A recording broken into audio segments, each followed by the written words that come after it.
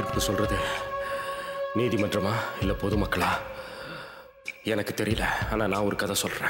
அதை கேட்டுட்டு எது சரி எது தப்புன்னு நீங்களே முடிவு பண்ணுங்க. இந்த கதையை எப்படி ஆரம்பிக்கிறதுன்னு எனக்கு தெரியல. என் கதையை என் கம்பெனில இருந்து ஆரம்பிக்கிறதா? இல்ல இந்துவோட கல்யாணத்துல இருந்து ஆரம்பிக்கிறதா?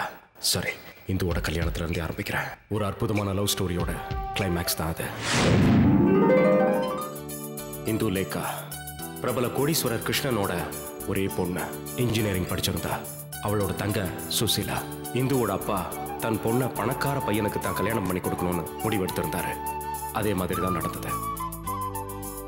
இந்துவோட கல்யாணத்துக்கு முக்கிய பிரமுகர்கள் மந்திரிகள்னு பெரிய பெரிய ஆளுங்கள்லாம் வந்திருந்தாங்க. அவ கல்யாணம் தடபுடலாம் நடந்துச்சு.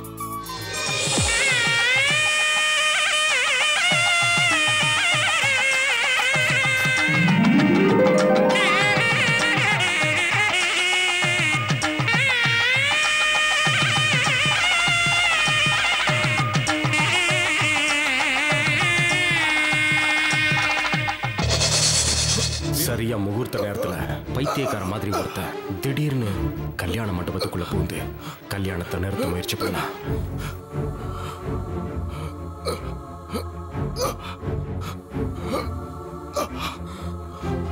வந்திருந்த எல்லாரும் அட்சதையை போட தயாரா இருந்தாங்க. தாலியை கையில எடுத்து கட்ட போகும்போது அவன் இந்து கூப்பிட்டான். இந்து!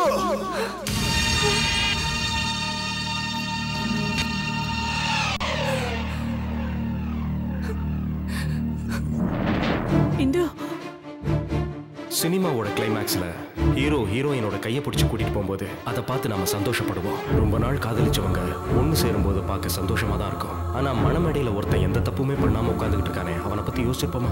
கல்யாணத்தின் பேர்ல ஏராளமான கனவுகளையும் கோட்டைகளையும் கட்டி வச்சிருந்திருப்பானே அதை பத்தி நம்ம கொஞ்சமாவது நினைச்சிருப்போமா? இல்லவே இல்லை. நானூறு கோடி ரூபாய் சொத்து உள்ள ஸ்டார்லைன் சாஃப்ட்வேர் இன்கார்பரேஷனுடைய எம்டி சேர்மன் நான் தான். என் பேரு ஓஜி ஹரீந்திரன் ஒரு கம்பெனியோட எம்டியா இருக்கிற எனக்கு எவ்வளவு டென்ஷன் இருக்கும்னு நான் சொல்ல வேண்டிய அவசியம் இல்லை. அந்த டென்ஷன்ல இருந்து விடுபடணுங்கிறதுக்காக தான் நான் இந்த சிரசாசனமே செய்யறேன் இது மூளையை சிறப்பா செயல்பட வைக்கும். ஆயுச கூட்டும். இதை யாராவது டிஸ்டர்ப் பண்ணிட்டாங்கன்னா அதுக்கப்புறம் அவங்க கதி அவ்வளவு ஐயா ஐயோ. அறிவு கட்ட முட்டாள். யோகாசனம் பண்ணும்போது கூப்பிடாதன்னு சொல்லியிருக்கல காப்பி குடுக்கலாம் தான் வந்தேன். ஏன் கத்துறீங்க? இப்ப காஃபி ரொம்ப முக்கியம்ல. வேலை வேலைக்கெல்லாம் டீ காஃபிலாம் சாப்பிடணும். அப்பதான் உடம்பு ஆரோக்கியமா இருக்கும். எனக்கு ஒரு ஜூஸ் மட்டும் போதும். உடம்பு ரொம்ப பெருத்துருச்சு. ஸ்லிம் ஆகணும். ஸ்லிம்மா போறேன்னு ஜூஸ்லாம் குடிச்சா பத்தாது. பார்ன் வித் சில்வர் ஸ்பூன்னு சொல்லுவாங்கல்ல அந்த வாழ்க்கையை முழுமையா அனுபவிச்சவன் தான் என்கிட்ட பேசுறவங்க எல்லாம் லட்சக்கணக்கில் பேசுறது இல்லைங்க கோடிக்கணக்கில் தான் பேசுவாங்க. ஆனா இந்த பணத்தோட கர்வம் என்கிட்ட சுத்தமா கிடையாது. ஏன்னா இந்த பணத்தை சம்பாதிக்க எங்க அப்பா எவ்வளவு கஷ்டப்பட்டாருன்னு என்கிட்ட கதை கதையா சொல்லியிருக்காரு. அது மட்டும் இல்ல ரொம்ப கஷ்டப்பட்டு வாழறவங்களுக்கு நாம ஏதாவது உதவி செய்யணும். அந்த உதவியையும் முழு மனசோட செய்யணும்னு எங்க அப்பா அடிக்கடி சொல்லுவாரு. தானம் பண்ணும்போது கணக்கு பார்க்க கூடாதுன்னு சொல்லுவாங்க. ஆனா உலகத்துல சில பேர் இருக்காங்க. கேப் கிடைச்சா போதும். உடனே ஆப்படிச்சிருவாங்க. அப்பேற்பட்ட ஒருத்தனை பத்தி தான் இப்ப நான் சொல்ல போறேன். அவனுக்கு இதை விட பெஸ்ட் இன்ட்ரொடக்ஷன் கிடையவே கிடையாது. ஏன்னா அவன் ஒரு ஹைடெக் திருட. கேட்டா தானத்துல ஒரு பங்கு நானே எடுத்துக்கிட்டேன்னு சொல்லுவான். அதுக்கப்புறம் அவங்ககிட்ட நாம என்னத்த பேச முடியும்? அப்பேற்பட்ட பிரகஸ்பதி யாருன்னு நீங்க பாக்குறீங்களா? அவன் வேற யாரும் இல்லைங்க. அவன் என்னோட பெஸ்ட் ஃப்ரெண்டு கோபாலகிருஷ்ணன்னு பேரு. ஜிகேன்னு அவனை நாங்க எல்லாம் செல்லமா கூப்பிடுவோம்.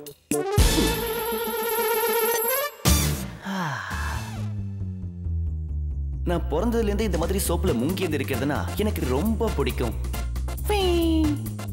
வேலை செய்யாம எதுவும் ஓசில கிடைச்சாலும் அதை உடனே வாங்கி வச்சுக்கிறது எங்க குடும்ப பழக்கம்.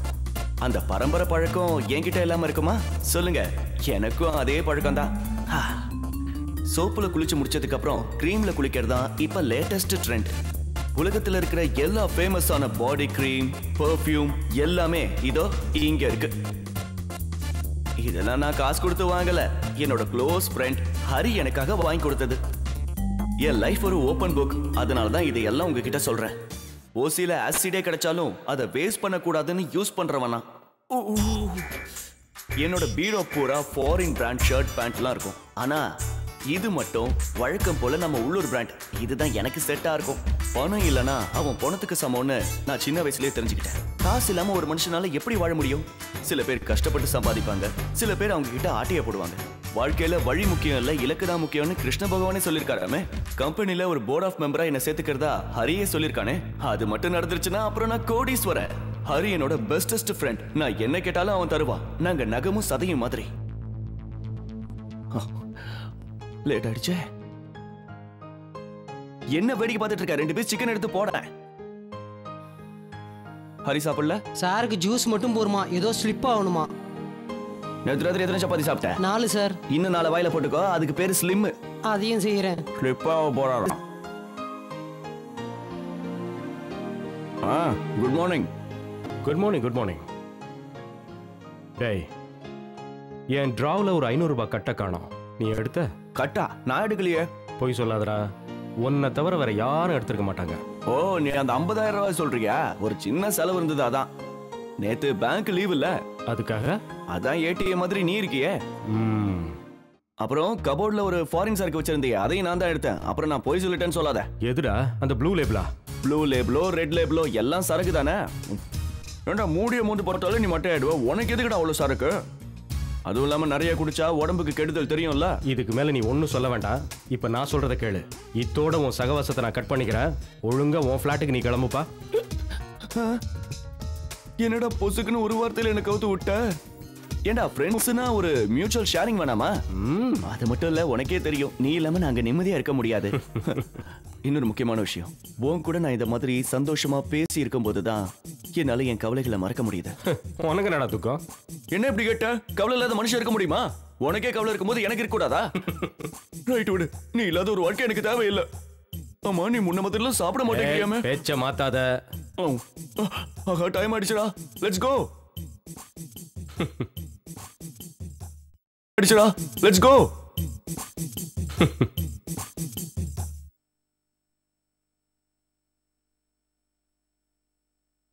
இருபத்தி மூணு வருஷங்களுக்கு முன்னாடி நான் பார்த்த கோபாலகிருஷ்ணன் வேற.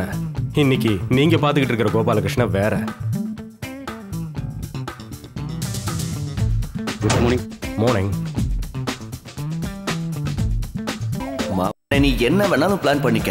நான் உன்னை கண்டிப்பா விட்டு போக மாட்டேன். காம்பவுண்ட் வாலுக்கு வெளியில சார பார்த்தாலே இங்க நின்னு மூத்திரம் பேஞ்சுக்கிட்டு இருக்கிற Gopalakrishnan.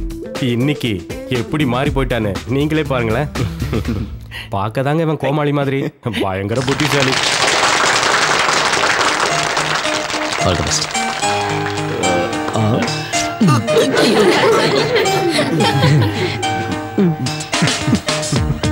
good morning good morning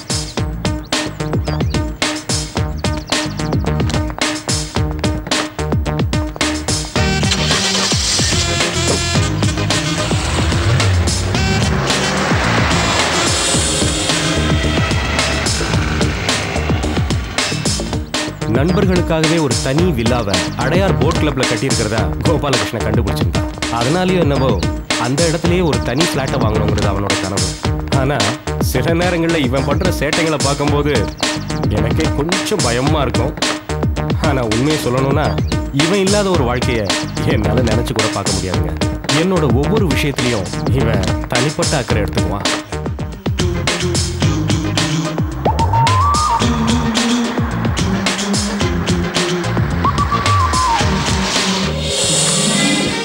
என்ன ரமணா இன்னைக்கு ராத்திரி நல்லா தூங்குனீங்களா? ஆ, ஆமாமா ரொம்ப நல்லா தூங்குறேன் ஐயோ இல்ல சார் நான் தூங்கவே இல்ல. விடிய விடிய கண் முழிச்சே இருந்தேன். இது ரெண்டத்துல நான் எதை நம்புறது? உண்மையை தான் சொல்றேன் மார்னிங் ஷிஃப்ட்டுக்கு ஆள் வர வரைக்கும் நான் கொட்ட கொட்ட முழிச்சிட்டே இருந்தேன் ராத்திரில ஆபீஸ்ல வேலை நடக்குதா இல்ல வேற ஏதாவது நடக்குதா நீங்க கொலைப்படாதீங்க சார் அரை மணி நேரத்துக்கு ஒரு தடவை நான் உள்ள போய் பார்த்துட்டு வரேன் எல்லாரும் நல்லா தூங்குனாங்க இல்ல இல்ல சார் நல்லா வேலை பார்த்துட்டு இருந்தாங்க டேய் இவரை நம்பவே முடியல என்னடா பேசுற அண்ணனோட முகத்தை பாரு அண்ணன் தூங்கவே இல்ல போல இருக்கு அண்ணே நீங்க இந்த மாதிரி தூங்காம இருந்தீங்கன்னா உங்க உடம்புக்கு கெடுதல் நீங்க போய் முதல்ல தூங்குங்க வா உள்ள போலாம் good morning sir good morning வந்தீங்களா? குட் மார்னிங் சார் சீக்கிரம் வாங்க லேட் ஆயிடுச்சு good morning sir hi good morning sir. Hi hi என்ன பொட்டி இந்த மாதிரி கோணல வச்சிருக்கேன் நாளை காலையில நான் எப்படி அந்த பொண்ணோட ஐஸ் என் ஆபீஸ் தான் கிடைச்சதா? Good morning sir good morning Rekha. How you sir around seventy six applications வந்திருக்கு. அதுல நாற்பத்தாறு மெயில் அமைச்சிருக்காங்க முப்பது டைரக்டா வந்திருக்காங்க. அதுல எத்தனை பேர் எலிஜிபிளா இருக்காங்க? இருபத்தஞ்சு பேர் சார் அந்த லிஸ்ட்டையும் ரெஸ்யூமையும் எடுத்துக்கிட்டு என் ரூமுக்கு வாங்க ஓகே சார் சார் மிச்சம் இருக்க அப்ளிகேஷன் என்ன பண்ணலாம்? அத எதுக்கு டென்ஷன் ஆகுறீங்க ஷாஜகான்? அது நம்ம சவுத் இந்தியன் ஐடி கம்பெனிக்கோ இல்லனா சிஸ்டர் கன்சர்னுக்கோ அனுப்பி வச்சிடலாம். அதை நம்ம நோட்டிஃபை பண்ணுமே. அதெல்லாம் நான் ஏற்கனவே பண்ணிட்டேன். நீ கவலைப்படாத. இன்னைக்கு நீ ரொம்ப அழகா இருக்க. Thank you. It's my pleasure Hari.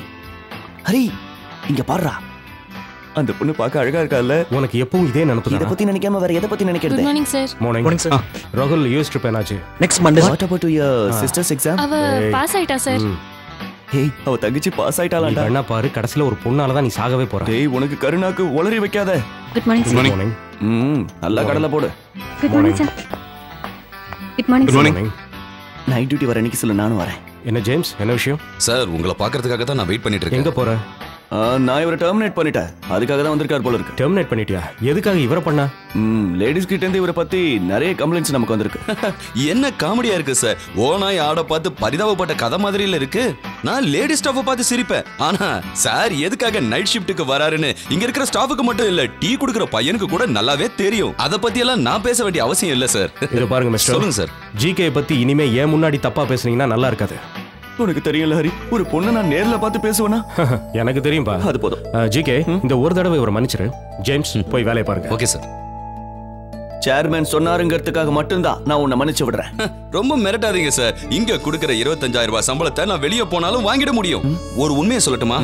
நீங்க ஹரீந்திரன் சார் கூட இருக்கிற வரைக்கும் இந்த கம்பெனி உருப்படவே உருப்படாது. வாய் முடுறா. ஏதோ மன்னிச்சு விட்டா ஓவரா பேசுற? போய் வேலைய பண்றா யூஸ்லெஸ் இந்த யூஸ்லெஸ்ஸும் சில நேரத்துல யூஸ் ஆவான் சார் என்ன யூஸே இன்னொரு தடவை என்ன டிஸ்டர்ப் பண்ண உன்னை ஜூஸா போட்டு குடிச்சிருவேன். Hari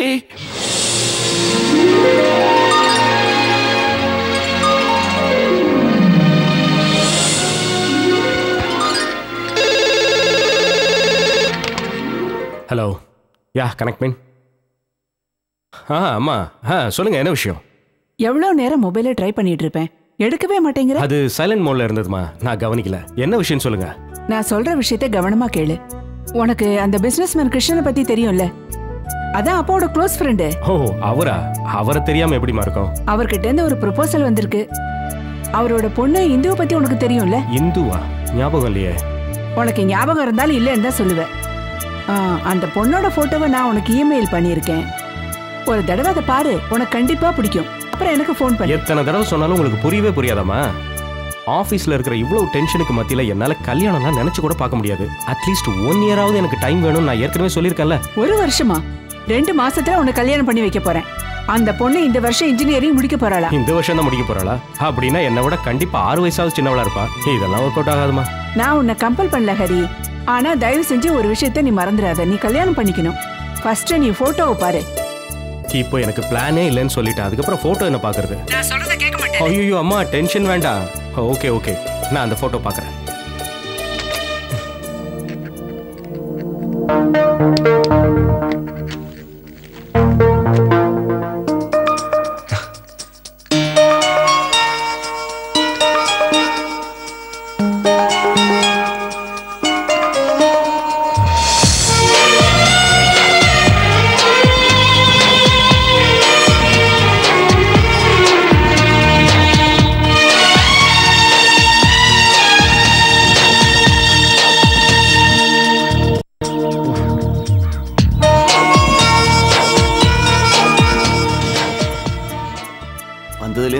கூடயே பேசிக்கிட்டு இருக்கான். ஒரு பொண்ணை பாத்திர கூடாதே என்ன மறந்துடுவல்ல? டிஸ்டர்ப் பண்ணாத. நான் இப்போதைக்கு கல்யாணம் பண்ணிக்கிறதா இல்ல இந்த நாட்டோட சாஃப்ட்வேர் கிங் ஆகணும். அதான் என் லட்சியம். கல்யாணம் பண்ணா அதெல்லாம் நடக்காது. அப்படி இப்படி வீம்பா பேசுன இப்போ ஒரு பொண்ணை கம்ப்யூட்டர்ல பார்த்ததான் அதை கட்டிட்டு ஆடுறியடா. நீ சொல்றது சரிதான்டா. அம்மா எனக்கு கல்யாணம் பண்ணி வைக்கணும்னு மூணு வருஷமா டார்ச்சர் பண்ணிட்டு இருந்தாங்க. நான் அதுல இருந்து தப்பிச்சுக்கிட்டே இருந்தேன். ஆனா என்ன அதிசயமோ தெரியல இந்த பொண்ணு போட்டோ பார்த்ததுல இருந்து என் கனவு தேவதையே இவதான் தோணுது. ஓ அதுவா மேட்ரு என்ன புரிஞ்சுக்கிட்ட? சரி சரி அதை விட. அதெல்லாம் adults only matter well I am going to ask you some questions நீ இது வரைக்கும் யாரையாவது லவ் பண்ணிருக்கியா? இல்ல. ஓகே ஏதாவது ஒரு பொண்ணு கூட டேட்டிங் போயிருக்கியா. யாரு? அம்மா அம்மம்மா. ஆமா பாட்டி பேத்தி எல்லா. கூடயும் போயிருக்க. போட்டாங்க. பேக்கு. வயசு பொண்ணுங்களை பத்தி கேட்டா வயசான கிழவிங்களை பத்தி ஓகே அப்படியெல்லாம் போனது இல்லப்பா அப்படின்னா உனக்கு இன்னும் கல்யாணத்துக்கு டைம் ஆகல. நேரம் வரும்போது நானே சொல்றேன். ஓ அப்ப கல்யாணம் பண்றவங்களா லவ் பண்ணி தான் கல்யாணம் பண்ணிக்கணுமா? போடா. பிரச்சனையே அங்கதான்டா.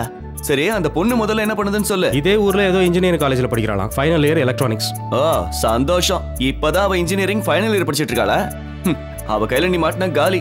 அப்படியே உன்னை கந்தல் துணி மாதிரி ஆக்கிடுவாடா. உளராதடா இவ அப்படி கிடையாது. இவ ஒரு நல்ல குடும்பத்தை சேர்ந்தவ. தமிழ்நாட்டிலேயே பெஸ்ட் பிசினஸ் மேன் பேர் எடுத்த மிஸ்டர் கிருஷ்ணனை பத்தி நீ கேள்விப்பட்டிருக்கியா? ஆமா அதுக்கு என்ன? அவரோட பொண்ணுடா. அவரோட பொண்ணா? ஏன்? அவரை பத்தி உனக்கு என்ன தெரியும்? அவரை பத்தி கேட்டனா அவர் ஒன்னும் அவ்வளவு நல்லவர் இல்ல. இப்போ நீ எல்லாம் அவருக்கு சர்டிபிகேட் கொடுக்குற அளவுக்கு ஆயிடுச்சா? ஏதோ சொல்லணும்னு தோணுச்சு. நல்லதுக்கு காலமே இல்லடா. ஏய் இப்ப விஷயம் அது இல்ல. இன்னும் ரெண்டு மூணு வருஷத்துல நம்மளோட கம்பெனி தமிழ்நாட்டுல மட்டும் இல்ல இந்தியா லெவல்ல பெருசாகணும். அதுதான் என்னோட கனவுன்னு உனக்கே தெரியும்ல. நான் அந்த கனவையும் மறக்கல உன்னையும் மறக்கல. ஏன்னா இது ரெண்டுத்தையும் ஞாபகம் வச்சிருக்கிறதுனால தான் என் கம்பெனி இவ்வளவு வளர்ந்துருக்கு. அதனால தான் சொல்றேன். இவ்வளவு கஷ்டப்பட்டு நம்ம முன்னேறிக்கிட்டு இருக்கிற இந்த நேரத்துல நமக்கு கல்யாணம் எதுக்கு? இல்ல எனக்கு கல்யாணம் ஆசை வந்துடுச்சு நான் கல்யாணம் பண்ணியே தீர்வேன்னு சொன்னா அதுக்கு ஒரு ஐடியா இருக்கு. என்ன ஐடியா எல்லா வேலையையும் ஒழுங்கா செய்யறதுக்கு கம்பெனியோட எக்ஸிகியூட்டிவ் டைரக்டரா உன்னோட பிரெயினா இந்த ஜிகேங்கிற கோபாலகிருஷ்ணனை ப்ரோமோட் பண்ணு. அதுக்கப்புறம் ஹனி மூணு வாட்டர் மூணு எங்க வேணா போ யார் கேட்க போறா? கம்பெனியை வளர்க்க வேண்டியது ஏன் வேலை. கரெக்ட் ஆனா கம்பெனி கரண்ட் சுச்சுவேஷன் என்னன்னா இப்போதைக்கு இந்த கம்பெனிக்கு இன்னொரு எம்டி தேவையில்லை. டேய் நீ எனக்கு வாக்கு கொடுத்துருக்கடா அதை மறந்துடாத. உன்னோட ஆசை எல்லாத்தையும் நான் அப்புறமா நிறைவேத்துறேன்டா. முதல்ல அந்த இந்துங்கிற இந்துமதியை நேர்ல சந்திச்சு நிறைய விஷயங்கள் பேசணும். அதுக்கு ஒரு ஐடியா கொடுறா. அதுக்கு நீ கவலைப்படாத நான் ஹெல்ப் பண்றேன். அந்த ஹெல்ப்பையும் நீ பண்ண வேண்டாம். உன் கேர்ள் ஃப்ரெண்ட் பூஜாவை பண்ண சொல்லு. பூஜா எதுக்குடா ஹெல்ப்புக்கு அவ என்ன ஹெல்ப் பண்ண போறா? உன்னை லவ் பண்றவளுக்கு பொண்ணுங்க லாஜிக் கண்டிப்பா தெரியும். சரியா சொன்னேன். யாரா ஆஹா அஞ்சு மணிக்கு அந்த பென்லைன் குரூப்பை மீட் பண்றதா சொல்லியிருந்தேன் என்னால போக முடியாது. நீ போய் பாத்துறேன்டா. ஏன் உனக்கு என்ன வேலை? அவனுங்க எச்சத்தனமா பார்கிங் எல்லாம் பண்ணிட்டு இருப்பானுங்க. அதனால தான் பேசாம நீயே போயிடா ப்ளீஸ் எச்ச கலங்கி கிட்ட போறதுக்கு நான்? ஆமாண்டா போயிட்டு வந்துரு. நான் போய் பூஜாவை பார்த்து பேசிட்டு வந்துடுறேன். ஏண்டா அவ ஹெல்ப் பண்ணுவாள்ல? கண்டிப்பாடா. யாருக்காகனாலும் சரி எதுக்காகனாலும் சரி ஹெல்ப் பண்றதுக்காக தான் பூஜா இருக்கா ஜிகே என்ன பத்தி தப்பா புரிஞ்சிட்டு இருக்கான். பெண் உரிமைக்காக போராடுறவங்க இருக்காங்கல்ல அந்த கேட்டகரியை சேர்ந்தவன் என் ஃப்ரெண்ட்ஸ் கூட என்ன சொல்லுவாங்க? என்ன பண்றது? என் வாழ்க்கை இந்த மாதிரி என்ன மாத்திருச்சு? பாக்குறதுக்கு வேணா நான் இந்த மாதிரி மாடர்னா ஜீன்ஸ் டாப்ஸ் எல்லாம் போட்டிருப்பேன். ஆனா உண்மையை சொல்லனா நான் ஒரு ஆன்மீகவாதி. வாழ்க்கையில எத்தனை பிரச்சனை வந்தாலும் அதை நான் ஒரு டீம் ஸ்பிரிட்டோட சமாளிச்சிருக்கேன். வாழ்க்கைய வாழ்ந்து காட்டணும். அதுதான் இந்த பூஜா வாசுதேவனுடைய ஒரே குறிக்கோள். நான் குடிக்க கூடாதுன்னு சொல்றதுக்கு இவ யாரு? இந்த ஊரு சிஎம் அவ பேர பாரு பூஜா வாசுதேவனா. இவளுக்கு யாரு இந்த பேரெல்லாம் வச்சானுங்களா? சை அவளை சொல்லி பிரயோஜனம் இல்ல. எல்லாத்துக்கும் காரணம் அவங்க அப்பா வாசுதேவன். அவளை என்ன பண்றது?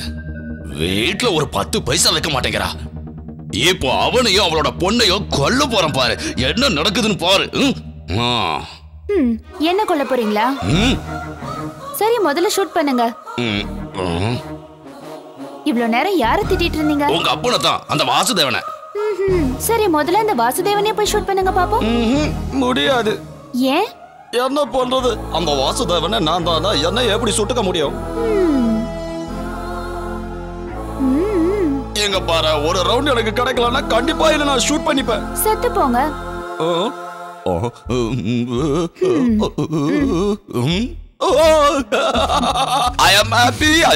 நீ தான் என்னோட சொல்ல பொண்ணு. கண்ணு குட்டிடா. தவிச்ச வாய்க்கு நீ ரம்மே வாங்கி கொடுத்துட்ட. நீ நல்ல பொண்ணு. ஆ ஜாலி ஜாலி ஜாலி ஜாலி. எனக்கு. ஆ, வாசல்ல யாரோ பெல் அடிக்கிறாங்க பாரு. நீ போய் பாரு நான் அதுக்குள்ளே ஒரு ரவுண்ட் போட்டுறேன்.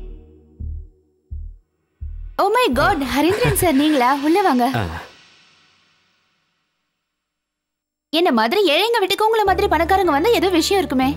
ஜோக் அடிக்கிறியா பூஜா? நீ இப்ப வேணா இப்படி ஒரு வாடகை வீட்டுல இருக்கலாம். ஆனா நாளைக்கே நீ ஜிகேவை கல்யாணம் பண்ணிக்கிட்டா நீயும் ஒரு கோடீஸ்வரி தானே? அவன் பணக்காரன் ஆகணும்னா அதுக்கு முதல்ல உங்களோட தயவு வேணும்ல. என்னோட தெய்வம் அவனுக்கு வேணுமா? சொல்ல போனா இப்ப அவனோட தெய்வம் உன்னோட தெய்வம் தான் எனக்கு இப்ப தேவைப்படுது. சரி விஷயத்துக்கு வரேன். யாரு சார் அந்த பொண்ணு? ஜிகே ஃபோன் பண்ணி எல்லா விஷயத்தையும் சொல்லிட்டான். ஆனா இதுக்கு கொஞ்சம் செலவாகும் பரவாயில்லையா? Okay okay. அதை பத்தி ஒன்றும் பிரச்சனை இல்லை. ஆக்சுவலா விஷயம் என்னன்னா வீட்ல அரேஞ்ச்மெண்ட்ஸ் எல்லாம் பண்றதுக்கு முன்னாடி நான் அவளை பார்த்து பேசணும்னு ஆசைப்படுறேன். You have to help me for that அப்படின்னா பொண்ணு ஓகேனா கல்யாணத்துக்கு ரெடியா இருக்கீங்களா? அதை பத்தி எதுவும் சொல்றதுக்கு இல்ல. பார்த்து பேசினதுக்கு அப்புறம் தான் முடிவெடுக்க முடியும். ஓ மை காட் இத்தனை வருஷமா கல்யாணமே வேண்டாம்னு சொல்லிட்டு இருந்தீங்க. இந்த பொண்ணை பார்த்தனே உடனே மயங்கிட்டீங்க. அப்படி அந்த பொண்ணு கிட்ட என்ன இருக்கு? உங்களை போட்டோலயே மயக்கிட்டா? மயக்கெல்லாம் ஒன்றும் இல்லை. ஏதோ பார்க்க கொஞ்சம் அழகா இருந்தா அதான் நேர்லயும் கொஞ்சம் பார்த்துடலாமேண்டா ஏன்னா கல்யாணங்கிறது ஆயிரம் காலத்து பயிர் சரி இப்ப நீ என்ன சொல்ற? சின்ன பொண்ணு அவளுக்கு எப்படி தெரியும்? இதெல்லாம் போய் அவகிட்ட கேட்டுக்கிட்டு I am very happy about this lottery உட்காருங்க உட்காருங்க. நீங்க ஏன் எழுதுக்கிறீங்க மனசுல மரியாதை இருந்தா போதும். மிஸ்டர் ஹரீந்திரன் இப்போ நான் சொன்னது உண்மைதானே? நீங்க எனக்கு மருமகனை வர போறீங்களா வாழ்க்கையில இதை விட சந்தோஷமான விஷயம் வேற என்ன? என் பொண்ணு உண்மையிலேயே ரொம்ப கொடுத்து வச்சவர் சார். உங்களோட ஃப்ரெண்டு ஒருத்தன் இருக்கான அந்த கோபால கிருஷ்ணன் அவன் சரியான கஞ்சன். பத்து பைசா கேட்டா கூட கொடுக்க மாட்டான். அவனுக்கு என் பொண்ணுக்கும் தான் எங்க கல்யாணம் நடந்துற போதோன்னு நான் பயந்துட்டே இருந்தேன். ஆனா இந்த நேரம் அப்பா ஏதோ தெரியாம பேசிட்டாரு. நீங்க தப்பா எடுத்துக்காதீங்க. இட்ஸ் ஓகே நான் தப்பா புரிஞ்சுக்கிட்டேன். இந்த நிமிஷத்துல இருந்து இந்த ரம்முல இருந்து ஸ்காட்சுக்கு மாறின மாதிரி எனக்கு ஒரு ஃபீலிங் வந்துருச்சு. I am sorry mister Harindran நான் ஏதோ கொஞ்சம் போதையில உளறிட்டேன். நீங்க தப்பா நினைச்சுக்காதீங்க. உங்ககிட்ட ஒரு விஷயம் சொல்லட்டா? ஒரு காலத்துல என்கிட்ட கோட்டை மாதிரி மூணு பங்களா இருந்துச்சு. மெர்சடிஸ் காருன்னு டொயோட்டா காருன்னு ஏகப்பட்ட காரு இருந்துச்சு. இந்த ஊர்ல இல்ல எல்லாம் துபாயில இருந்துச்சு. என் பொண்ணு பத்தாம் கிளாஸ் படிக்கிற வரைக்கும் அவளை ராணி மாதிரி வச்சு பார்த்துக்கிட்டேன். வேர்ல்டுல நம்பர் ஒன் பிசினஸ் மேனா நான் தான் வருவேன்னு சொல்லி ஒரு ஷேக் என்னை ஏமாத்திட்டான். என்ன பெரிய ஆள் ஆக்குறன்னு அவன் பெரிய ஆளாயிட்டான் ம், அந்த ஷேக்குக்கு கூட இருந்தவன் என்னோட உயிர் நண்பன். ம், எல்லாம் என்னை விட்டு போயிடுச்சு. மக்களை ஏமாத்திட்டேன்னு என்னை ஜெயிலில் அடைச்சாங்க. ஓ, அதை கேட்ட இவங்க அம்மா வருத்தத்திலேயே செத்து போயிட்டாங்க. இன்னைக்கு என் மக ஹோட்டல்ல நாலு பேர் முன்னாடி பாடினா மட்டும்தான் என்னால சந்தோஷமா இந்த ரெண்டு ரவுண்டு பெக்கு கூட அடிக்க முடியும். What life waste I am sorry sir that's okay மனசுல இருக்கிற வருத்தத்தை தெரிஞ்சவங்க கிட்ட தானே கொட்ட முடியும். ஐயோ பேசிக்கிட்டே மறந்துட்டேன் பார். அப்ப ஏன் விஷயம்? தென் உங்க மனசு கவர்ந்த அந்த பொண்ணை நீங்க பார்க்கணும்னு ஆசைப்படுறீங்க. அந்த இந்துவை நீங்க மீட் பண்றதுக்கு இந்த பூஜை அரேஞ்ச் பண்ணுவா. ஆத்துல ஒரு கால் சேத்துல ஒரு கால் வாழ்ற வாழ்க்கையெல்லாம் என்னால வாழ முடியாது மனசுக்கு பிடிச்ச ஒருத்தனை லவ் பண்றது அப்புறம் வீட்டுல இன்னொருத்தனை சொல்றானேன்னு அவனை கல்யாணம் பண்ணிக்கிறது இந்த மாதிரி ரெட்ட வாழ்க்கை வாழ்றதுக்கு எனக்கு பிடிக்காது அது மட்டும் இல்ல லவ் பண்றோன்றதுக்காக அவன் கிட்ட அடிமையாவும் என்னால இருக்க முடியாது V is equal to MR into GYB. R is constant. The value of the depends upon the properties of gas and the temperature scale. அதோட டெரிவேஷன் பாருங்க V is equal to MR into இப்ப லவ்வர்ஸோட best loving spot class rooms தான். எஸ்எம்எஸ்ல love பண்றது fashion இல்ல passion ஆயிடுச்சு. Cellphone இல்லாம ஒரு ஸ்டூடெண்ட் இருக்கான்னா அவன் இந்த உலகத்தை சேர்ந்தவனே இல்ல. சார் பார்க்க போறாரு. பார்த்தா பார்க்கட்டும். போட்டோ எடுக்கிறதுல பிரச்சனை இல்ல ஆனா அதை இன்டர்நெட்ல பப்ளிஷ் பண்றாங்கல்ல அப்பதான் பிரச்சனை. இந்த மாதிரி பல கோஷ்டிக கிளாஸ் ரூம்ல இருக்கும். அதுவும் இந்த லோ வெஸ்ட் எல்லாம் போட்டுட்டு வராங்க பாருங்க. பார்க்கவே கண்ரவியா இருக்கு. இந்த மாதிரி எந்த சேட்டையும் பண்ணாம ஓரத்துல ஒதுங்கி இருக்கேனே ஏன் வாழ்க்கையில ஏன் இப்படி நடக்குது? V is equal to MR. Um, Hindu கொஞ்சம் கிளாஸை கான்சென்ட்ரேட் பண்றியா? இந்து. கால் பண்ணியா? பண்ணேன் என்னாச்சு? நோ ரெஸ்பான்ஸ் மெசேஜ் அனுப்புனியா? ம் அனுப்புனேன். அதுக்கும் நோ ரெஸ்பான்ஸா நோ ரெஸ்பான்ஸ் அப்பனா என் மொபைல்ல இருந்து ட்ரை பண்ணு. அவசியமே இல்ல. அவனுக்கு மட்டும் இல்ல எனக்கும் பிடிவாதம் இருக்கு. என்ன வேண்டாம்னு சொல்றவன எனக்கும் வேண்டாம். அவன் ஒரு சரியான ஃப்ராட் அவன் ஒரு ஃப்ராடுங்கிறது தான் நானும் முதல்ல இருந்து சொல்லிட்டு இருக்கேன். நீ தான் கேட்கல ஈகோவும் இன்ஃபீரியாரிட்டி காம்ப்ளெக்ஸும் இருக்கிற மனசு. அவனோட தாடியும் கண்ணாடியும் பார்க்கவே சகிக்கல. அவன் உனக்கு செட் ஆக மாட்டான்னு நான் உன்கிட்ட அன்னைக்கே சொன்னேன். அன்னைக்கு என்னமோ அவன் பேச்சு கேட்டு நீ மயங்கிட்ட. இன்னைக்கு அவன் கூட பழகுனதுக்கு அப்புறம் அவன் அப்படி அவன் இப்படின்னு சொல்லிட்டு என்கிட்ட வந்து புலம்பிக்கிட்டு இருக்க. அவன் பேசுனது பழகுனது எல்லாம் அப்படிதானே இருக்கு? மக்களுக்காக வாழ்றவன் இந்த உலகத்தை காப்பாத்துறவன் இடியட் அப்படியே சேகுவர மறியல பேசிட்டு இருந்தான். ம். பிறக்கும் போதே பென்ஸ் கார்ல பிறந்த ஒரு பொண்ணுக்கு கண்டிப்பா சாதாரண குடும்பத்துல பிறந்த ஒரு பையனோட வாழ்க்கை தெரிய வாய்ப்பே இல்ல. அவ ஆசைப்படும் போதெல்லாம் லவ் பண்ணனா அவ ஆசைப்படும் போதெல்லாம் கல்யாணம் பண்ணிக்கணுங்கிறது ஏதோ ஒரு சர்வாதிகாரம் போல இருக்கு. உண்மையை சொல்லணும்னா நூத்தி ஐம்பது தடவைக்கு மேல ஒரு கம்யூனிஸ்ட் புக்கை படிச்சு வளர்ந்த ஒரு புரட்சியாளனா? என்னோட இந்த நிலைமையை பத்தி மிஸ்டர் ராஜேந்திரன் நீங்க என்ன நினைக்கிறீங்க? இங்க பாரு தம்பி நீ கேக்குற கேள்விக்கெல்லாம் பதில் சொல்லணுங்கிற அவசியம் இல்ல. ஆனா ஒன்ன மாதிரி ஒரு கஞ்ச கபோதிய லவ் பண்றா பாரு அந்த பொண்ணு. அவளை நிச்சயமா பாராட்டி ஆகணும். அதே மாதிரி வெட்டி நியாயம் பேசிட்டு இருக்கிற ஒன்ன மாதிரி ஆளுங்களை இந்த நாட்டிலே இருக்க விடக்கூடாதுன்னு ஓட ஓட அடிக்கணும். அதான் முக்கியம். உன்கிட்ட போய் கேட்டேன் பாரு. உன் மனசுல பெரிய பத்திரிக்கைக்காரன் நினைப்பா உனக்கு? ஒரு சாதாரண மனுஷனோட கஷ்டம் என்னங்கிறத புரிஞ்சுக்க முடியாத ஒரு முதலாளி கூட்டம் நீங்க அந்த சர்வாதிகார கூட்டத்தை விட்டு வெளியில வர முடியாம கஷ்டப்பட்டுட்டு இருக்கிற ஒரு அடிமை வம்சம் தானா அப்பேற்பட்ட முதலாளி கூட்டத்தை சேர்ந்த ஒரு பொண்ணு என்ன லவ் பண்றான்னு சொல்லும்போது நான் என்ன பண்றது? நீயே கேள்வி கேக்குற நீயே பதில் சொல்ற. இதுல நான் என்ன சொல்றது. பதில் சொல்ல தெரியலனா எதுக்காக அந்த முதலாளி கூட்டத்துக்கு இவ்வளவு நேரம் சப்போர்ட் பண்ண? ஒன்ன மாதிரியான ஆளுங்களால தான் இந்த ஊர்ல கம்யூனிஸ்டுக்கு மதிப்பே இல்லாம போய்கிட்டு இருக்கு? என்னாச்சு? ஒண்ணு இல்ல லேசா வயிறு கலக்குது நான் கக்குசுரை போயிட்டு வந்துடுறேன். அம்மா. ச்சே இதுவும் வேலை செய்யலையா? இப்ப என்ன பண்றது? உன் நிலைமைய பத்தி கொஞ்சம் யோசிச்சு பாரு. அவ குளிக்கிற ஸ்விம்மிங் பூல் குடிக்க கொக்க கோலா ஆனா எனக்கு குடிக்க குளிக்க எல்லாமே இந்த அரை பேக்கெட் தண்ணி தான் அதுவும் வரலையா?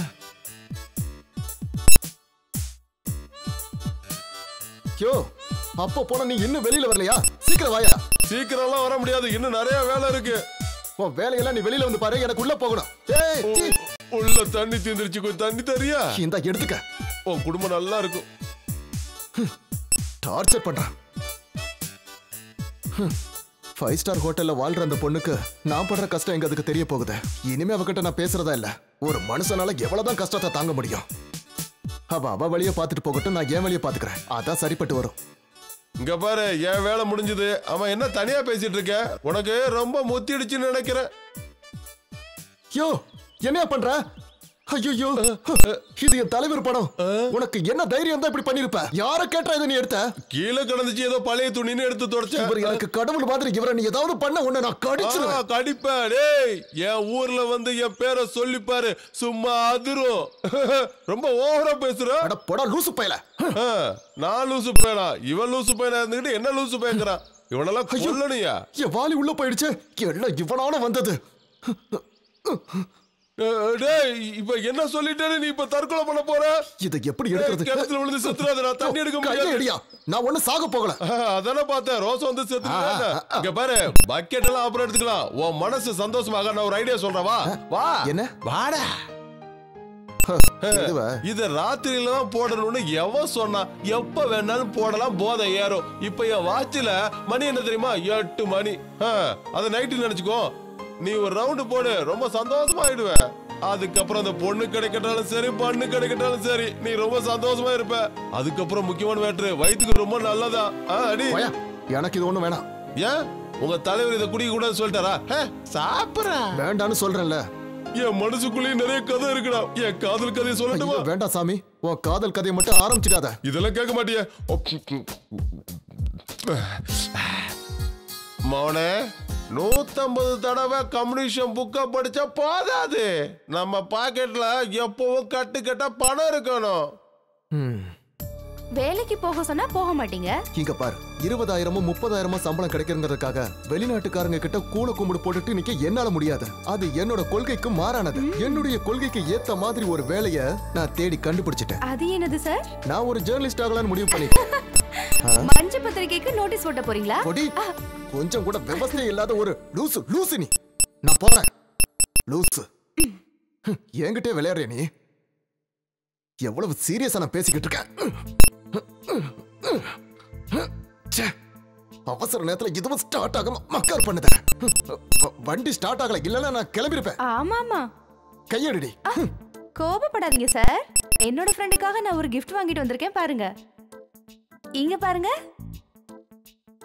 ஹோ, எங்க தலைவர்? இது எங்க வாங்கின? எங்கேயோ வாங்கினேன். நல்லா இருக்கு. தேங்க்ஸ் என் மேல உனக்கு அவ்வளவு பிரியமா? சரி நாளை காலையில பத்து மணிக்கு நான் ஹாஸ்டலுக்கு வரேன். ஐயோ வேண்டாம் அலெக்ஸ். எனக்கு பயமா இருக்கு. எதுக்காக இப்படி பயப்படுற? ஃப்ரெண்ட்ஸ் வீட்டுக்கு குரூப் ஸ்டடிக்கு போறேன்னு ஹாஸ்டல் சொல்லிட்டு வெளியில வந்துரு. நம்ம ரெண்டு பேரும் ஜாலியா வெளியில சுத்திட்டு திரும்ப சாயங்காலம் கொண்டு போய் உன் ஹாஸ்டல்ல விட்டுறேன். ஆனா நாளைக்கு நம்ம எதுல போக போறோம்? எல்லாம் இந்த குதிரையில தான். இதுலயா?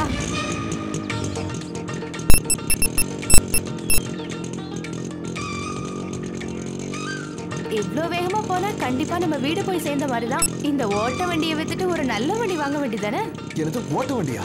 ஏன்டி இந்த வண்டியை நீ என்ன நினைச்சுக்கிட்டு இருக்க? இது எங்க அப்பாவுடைய வீரத்துக்கும் சாகசத்துக்கும் கிடைச்ச ஒரு பரிசு. உனக்கு தெரியுமா? இதுக்கு இப்ப முப்பத்தி ரெண்டு வயசு ஆகுது அப்ப பழங்காலத்து பொருள். வித்தா நல்ல காசு கிடைக்கும்னு சொல்றீங்களா? ஓ பணம் பணம் பணம். எப்ப பார்த்தாலும் பணத்தை பத்தியே தான் பேசுவியா? தெரியும். உன்ன மாதிரி பணக்கார வீட்டு பொண்ணுங்களுக்கெல்லாம் இந்த மாதிரி வண்டி பிடிக்காது பென்ஸ் தான் பிடிக்கணும் எனக்கு நல்லா தெரியும். மறுபடியும் ஆரம்பிச்சிட்டியா? இங்க பாரு. நம்ம நாட்டுல எத்தனையோ மக்கள் ஒரு பணக்காரன் வரான் முதலாளித்துவத்தை எப்படி காட்டுறான்னு பாரு. முடிஞ்சா என்ன அவன் எப்படி தாண்டி போறான்னு பாக்குறேன். ஒரு பாமரனுடைய கஷ்டம் என்னங்கிறத அவனும் புரிஞ்சுக்கட்டும். காது போச்சு. முடிஞ்சா என்ன ஏத்திட்டு போடா. போடா. அவ்வளவு. பெரிய ஆள்னா என்ன ஏத்திட்டு போடா. இவன் யாருன்னு தெரியுமா? இவன் பேர் தான் சங்கர். ஏழை பாளையோட காசை திருடி பாக்கெட்ல போட்டுக்கிட்டு இன்னைக்கு பணக்காரங்கிற பேர்ல ஊரை ஏமாத்திட்டு இருக்கான் ராஸ்கர். தைரியம் தான் என்ன ஏத்தி கொண்டுட்டு போடா. என்ன முடியலையா? ஐயோ. நல்லா மாட்டினியா?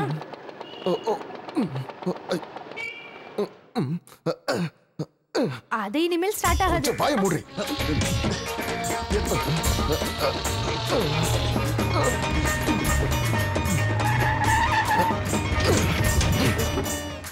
ஏண்டா ஹார்ன் அடிச்சது கேட்கல? வேலையை பார்த்துட்டு போடா. டேய் நீ அந்த அலெக்ஸ் தானே? ஆமா யார் இந்த பொண்ணு? ஆ நடக்கட்டும் நடக்கட்டும். பார்த்து போ. வண்டி எடுறா. கொஞ்சம் இறங்கு. இப்ப இவனை நான் என்ன பண்றேன்னு பாரு. டேய். ஆ, அடி அடிச்சுதான் பாரு நீ இருக்கிறதால விடுற இல்லைன்னா நான் அவனை. அறிவு கட்டவன். இவனுங்களெல்லாம் லாரி ஏத்தி கொல்லணும். ஆ, என் கிராமம் வந்துருச்சு. எப்படி பார்க்க அழகா இருக்குல்ல? பார்த்து கெட்டியா பிடிச்சுக்க வண்டிக்கு கொஞ்சம் ஸ்லிப் ஆகும். சொன்னல அங்க என்ன கூட்டம்? George Bush. பிரசிடென்ட் புஷ் அமெரிக்க சர்வாதிகாரம் ஒழிக. அமெரிக்க ஐயோ ஜோசப் பண்ண நீ போய் அங்க ஒளிஞ்சுக்க அதெல்லாம் நான் உனக்கு அப்புறம் சொல்றேன். அவர் உன்னை பார்த்தாருன்னா சரி வராது சீக்கிரம் போ. விஷயம்? போ நான் சொல்றேன்ல சொன்ன கேளு. George Bush. ஏய் அலெக்ஸே. வா வா வா வா வா, வா தோழா வா. சொல்லுங்க தோழரே. ஆமா இன்னைக்கு என்ன ஊர்வலம்? அட உனக்கு விஷயமே தெரியாதா? அமெரிக்க பிரசிடென்ட்டும் நம்ம இந்திய ஜனாதிபதியும் பேச்சுவார்த்தை நடத்திக்கிட்டு இருக்காங்களாம் அதை பார்த்து நான் சும்மா கையை கட்டிக்கிட்டு உட்கார்ந்துட்டு இருக்க முடியுமா? அதனாலதான் நம்ம ஊர்ல நான் ஒரு பெரிய ஏற்பாடே பண்ணிக்கிட்டு இருக்கேன். பத்தி மத்தவங்க கிட்ட சொல்லிட்டீங்களா? இல்ல இல்ல இல்ல இனிமே தான் சொல்லணும். எல்லார்கிட்டயும் போய் சொல்றதுக்கு எங்க நேரம் இருக்கு? எல்லாத்தையும் நான் தான் செய்ய வேண்டியதா இருக்கு. ஆமா நீ வந்து கூட்டத்துல கலந்துக்கிறல நான் கூட்டத்துல கலந்துக்காமையா? ஆனா அண்ணன் இப்போ ஒரு காரியம் பண்ணுங்க. நீங்க இந்த கூட்டத்துல கூட்டிட்டு போங்க நான் வீட்டுக்கு போயிட்டு இப்போ வந்துடுறேன். நான் உங்ககிட்ட இன்னொரு விஷயம் பேசணும். உன் தங்க கல்யாணத்தை பத்தி பேசிட்டு இருந்தால நான் மறந்து போயிட்டேன். அந்த கோயம்புத்தூர் பார்ட்டி ஒர்க் ஆயிடும்னு தோணுது. அப்படியா? ஆமா. ஆனா அவங்க கேட்கறதெல்லாம் கொடுக்குற அளவுக்கு நம்ம கிட்ட வசதி இருக்கான்னு தெரியல. ஆனா அவங்க டிமாண்ட்ஸ் ஒன்றும் ரொம்ப பெருசா இல்ல. ஆனா நம்ம கிட்ட அவ்வளவு காசு இல்லையான ஜோசப் அண்ணா இப்ப நம்ம என்ன பண்றது? அட நீ எதுக்கும் கவலைப்படாத. இது எல்லாத்துக்கும் காரணம் அந்த முதலாளி வர்க்கம் தான் எல்லாம் சரியாயிடும். அப்ப நான் வரட்டா? போயிட்டு போயிட்டு வாங்க. பிரசிடென்ட் புஷ் பிரசிடென்ட் புஷ் ஒரு வழியை உங்களை அனுப்பி வச்சுட்டேன். சீக்கிரம் வா வேகமா போலாம். வர மாட்டேன். நீ வேணா போ. ஏய் சாரிடா சாரி தேவையில்லை. என்ன அங்க தனியா விட்டுட்டு நீ மட்டும் பேசிட்டு இருக்க. நான் போறேன். ஐயோ இந்து ப்ளீஸ் நான் சொல்றத கொஞ்சம் கேள. ப்ளீஸ்மா நான் எதுவும் கேக்குறதா இல்ல. இங்க பாரு இந்து கொஞ்சம் புரிஞ்சுக்க. எங்க ஆளுங்க கிட்ட நான் மாட்டேன்னு வச்சுக்க. என் கதை அவ்வளவுதான் முடிஞ்சது. அதான் அவங்க போயிட்டாங்கல்ல. ப்ளீஸ் வா வந்து ஏறுமா. ப்ளீஸ்மா நான் வேணா தோப்புக்காரனை போறேன். ஒன் டூ நீ ஒரு சேகு வரவா சரி இந்த வண்டி எப்ப ஸ்டார்ட் ஆகும்? இப்ப ஸ்டார்ட் ஆகும் பாரு. கமான் பாத்தியா? ஸ்டார்ட் ஆயிடுச்சு. பரவாயில்லையே. ஆ.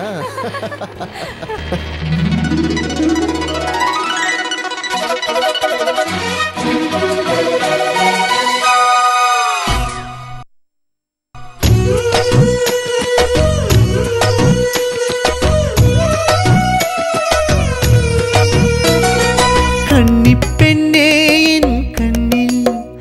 காதல் பாடும் சொல் கண்ணே நானும் ஏனோ பசும் பொன்னே. ஓரத்தில் கண்டுபிடி நேரத்தில் காதல் பாடம் சொல்வேன் நானே. கன்னி பெண்ணே என் கண்ணில் காதல் பாடும் சொல் கண்ணே நானும் ஏனோ பசும் பொன்னே. ரெண்டு விழிபோரத்தில் கண்டுபிடி நேரத்தில் காதல் பாடம் சொல்வேன் நானே. கன்னி பெண்ணே என் கண்ணில்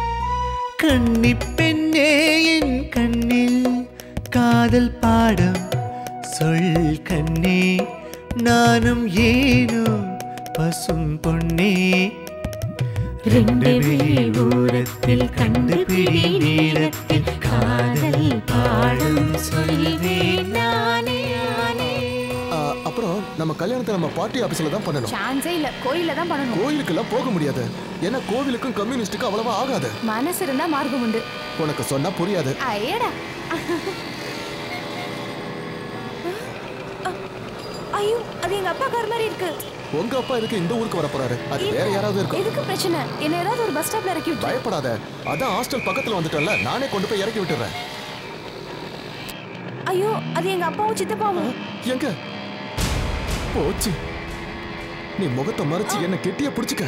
நான் வேகமா இந்த இடத்த கிராஸ் பண்ணிடுறேன். ஐயோ இப்ப பார்த்து ஸ்லோவா போறீங்க. வேகமா போறேன். நீ நல்லா பிடிச்சுக்க. கடவுளே இது இங்கே நின்று போல இருக்கே. இல்ல இல்ல. இதெல்லாம் ஒரு வண்டி. இவ்வளவு நேரம் நல்லா தானே ஓடிச்சு. இப்பன்னு பார்த்து இது ஸ்டார்ட் ஆக மாட்டேங்குது.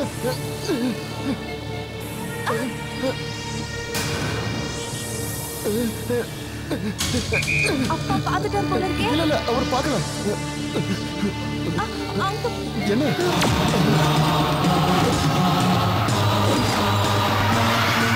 உண்மையை சொல்றா. அந்த ஆளோட செல்வாக்க பார்த்துட்டு தானே அந்த பொண்ணை இப்ப வேண்டாம் நீ சொல்ற? என்னது? என்ன மாதிரி ஒரு வீர கம்யூனிஸ்ட மாப்பிளை அடையறதுக்கு அந்த ஆள் தான் கொடுத்து வச்சிருக்கணும். என்னடா ம், போடாங்க நல்ல காப்பியை வேஸ்ட் பண்ணிட்டியடா. குடி. யோ ராஜேந்திரா அவளுக்கு அவ குடும்பம் அவ வீட்டுக்காரங்க தான் முக்கியம். என்ன பத்தி அவளுக்கு யோசிக்க நேரம் இல்ல. ஆனா நான் அவளை விரும்புறேனே. அதுக்கு தண்டனை தான் இது. நீ எதுக்கு கவலைப்படாத? முதல்ல இதை சாப்பிட எல்லாம் சரியா போயிடும். என்னது கஷ்டத்தை போக்குற எள்ளூருண்ட ரெண்டு எடுத்து வாயில போட்டுன்னு வச்சுக்க எல்லா கஷ்டமும் பறந்து போயிடும். வேண்டாமா நானே சாப்பிடுறேன். சீக்கிரம் கல்யாணம் பண்ணி என்ன வீட்டுக்கு கூட்டிட்டு போன்னு சொல்றா. ஆனா எனக்கு வீட்ல ரெண்டு தங்கச்சிங்க இருக்கு. வீட்ல ரெண்டு தங்கச்சிகளை வச்சுக்கிட்டு நான் எப்படி கல்யாணம் பண்ண முடியும்? அவங்களுக்கு கல்யாணம் பண்ணி வச்சுட்டு தான் அதுக்கப்புறம் நான் கல்யாணம் பண்ணி பண்ணி எங்க அம்மாவுக்கு சத்தியம் பண்ணிருக்கேன் என்னடா பண்ணிட்டு இங்க பாரு நீ சீக்கிரமா முடிவெடு. இல்ல வேற எவனா கல்யாணம் பண்ணிட்டு போயிருவா. அவ யார கல்யாணம் பண்ணிக்க போறான்னு எனக்கு நல்லா தெரியும். இந்தியாவிலேயே பெஸ்ட் சாஃப்ட்வேர் கம்பெனி ஓனர் அந்த ஹரீந்திரனை தான் அவ கல்யாணம் பண்ணிக்க போறதா எனக்கு நியூஸ் வந்திருக்கு. நாம நேரா அவங்கிட்ட போய் உன் காதல் கதைய சொல்லிட்டா எல்லாம் சால்வ் ஆயிடும். வெக்கமான சூடு சொன்ன எல்லாத்தையும் விட்டுட்டு அவன் கால்ல போய் விழுந்து என்ன கெஞ்ச சொல்றியா? அப்படின்னா நம்ம வேற ஏதாவது யோசிச்சு பார்ப்போம். நாம அந்த ஹரீந்திரனை பத்தி தப்பு தப்பா நியூஸ் போடலாம். யோ ராஜேந்திரா அது மாதிரி செய்ய முடியுமா? உனக்காக நான் எது வேணாலும் செய்வேன். அதுக்கு முன்னாடி நாம எங்கெங்க போறான் என்னென்ன பண்றாங்கிறத நோட் பண்ணணும். அப்பதான் கவர் ஸ்டோரி ஸ்ட்ராங்கா இருக்கும். நான் எல்லாத்தையும் பாத்துக்கிறேன்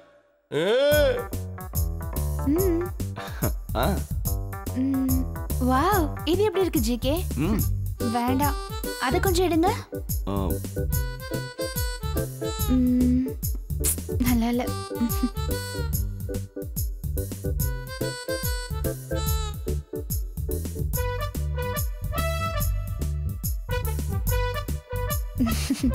வாங்க.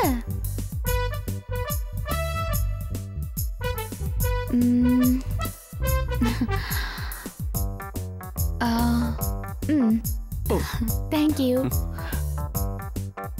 இது நல்லா இருக்குல்ல? பார்க்கவே கேவலமா இருக்கு. அதை எடுங்க. அதை எடுங்க. நீ செக் பண்ணு. இது எனக்கு நல்லா இருக்குல்ல? அது கூட நல்லா இருக்கு. பெண்கள் உலகத்திலேயே ரொம்ப காஸ்ட்லியான ஒரு பொருள். பொண்ணுங்க கிட்ட ஜாக்கிரதையா இருந்தா அவங்க நம்ம கைக்குள்ள அடக்கமா இருப்பாங்க. ஒரு பொண்ணு மனசு வச்சா நடக்காதது எதுவுமே இல்ல. ஆனா பணம் நடக்காததையும் செய்யும். பொண்ணுங்க பாம்பு மாதிரி சீண்டுனா கொத்துவாங்க. ஆனா இந்த கோபாலகிருஷ்ணன் வாழ்க்கையில பூஜா ஒரு ரப்பர் பாம்பு மட்டும்தான். ஜிகே உன் காசுலாம் இன்னைக்கு நான் கறியாக்கிட்டேன். உனக்காக நான் கறியை கூட காசாக்க தயாரா இருக்கேன். உண்மையை சொல்லட்டுமா? நான் ஒரு பெரிய பணக்காரன் லட்சாதிபதி. ஆனா நான் இப்ப கோடீஸ்வரன் ஆகணும். அதுதான் என் கனவு அதுக்கு ஹரியோட உதவி எனக்கு தேவை. ஹரியோட மனசு உருகணும்னா உங்க எல்லாருக்கும் ஒரு கதை தெரியுமா? விஸ்வாமித்திரரோட தவத்தை கலைக்கிறதுக்கு அதுக்கு தேவேந்திரன் மேனகையை அனுப்புனானா? கூப்பிடு கூப்பிடு. கை இப்படி வச்சுக்க. காலை தூக்கி இப்படி வச்சுக்க.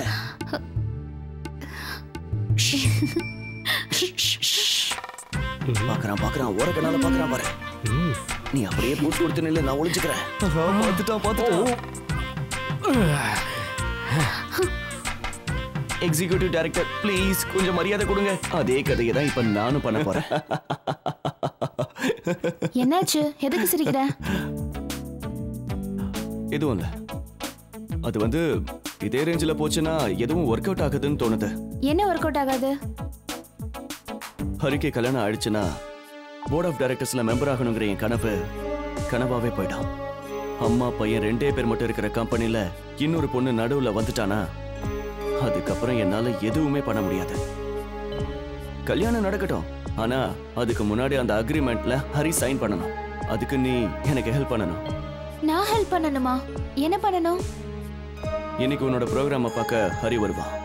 இன்னைக்கு உன் ப்ரோக்ராம் முடிச்சதும் நம்ம மூணு பேரும் ஃப்ளாட்டுக்கு போலாம். அந்த இடத்துல தான் நீ அவன்கிட்ட எப்படியாவது பேசி அக்ரிமெண்ட்ல சைன் வாங்கணும். இவ்வளவு நாள் சைன் போட சொல்லி நீ கேட்டே ஒர்க் அவுட் ஆகல. இன்னைக்கு நான் கேட்டே ஒர்க் அவுட் ஆகுமா? அது எப்படி நான் உனக்கு சொல்லித் தரேன்